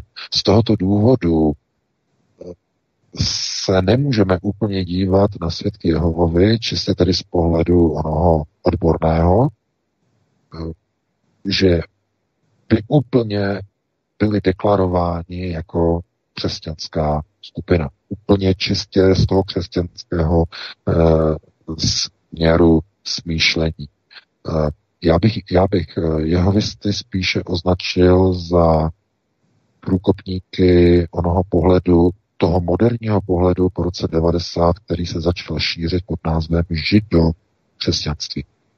Oni byli první v Československu.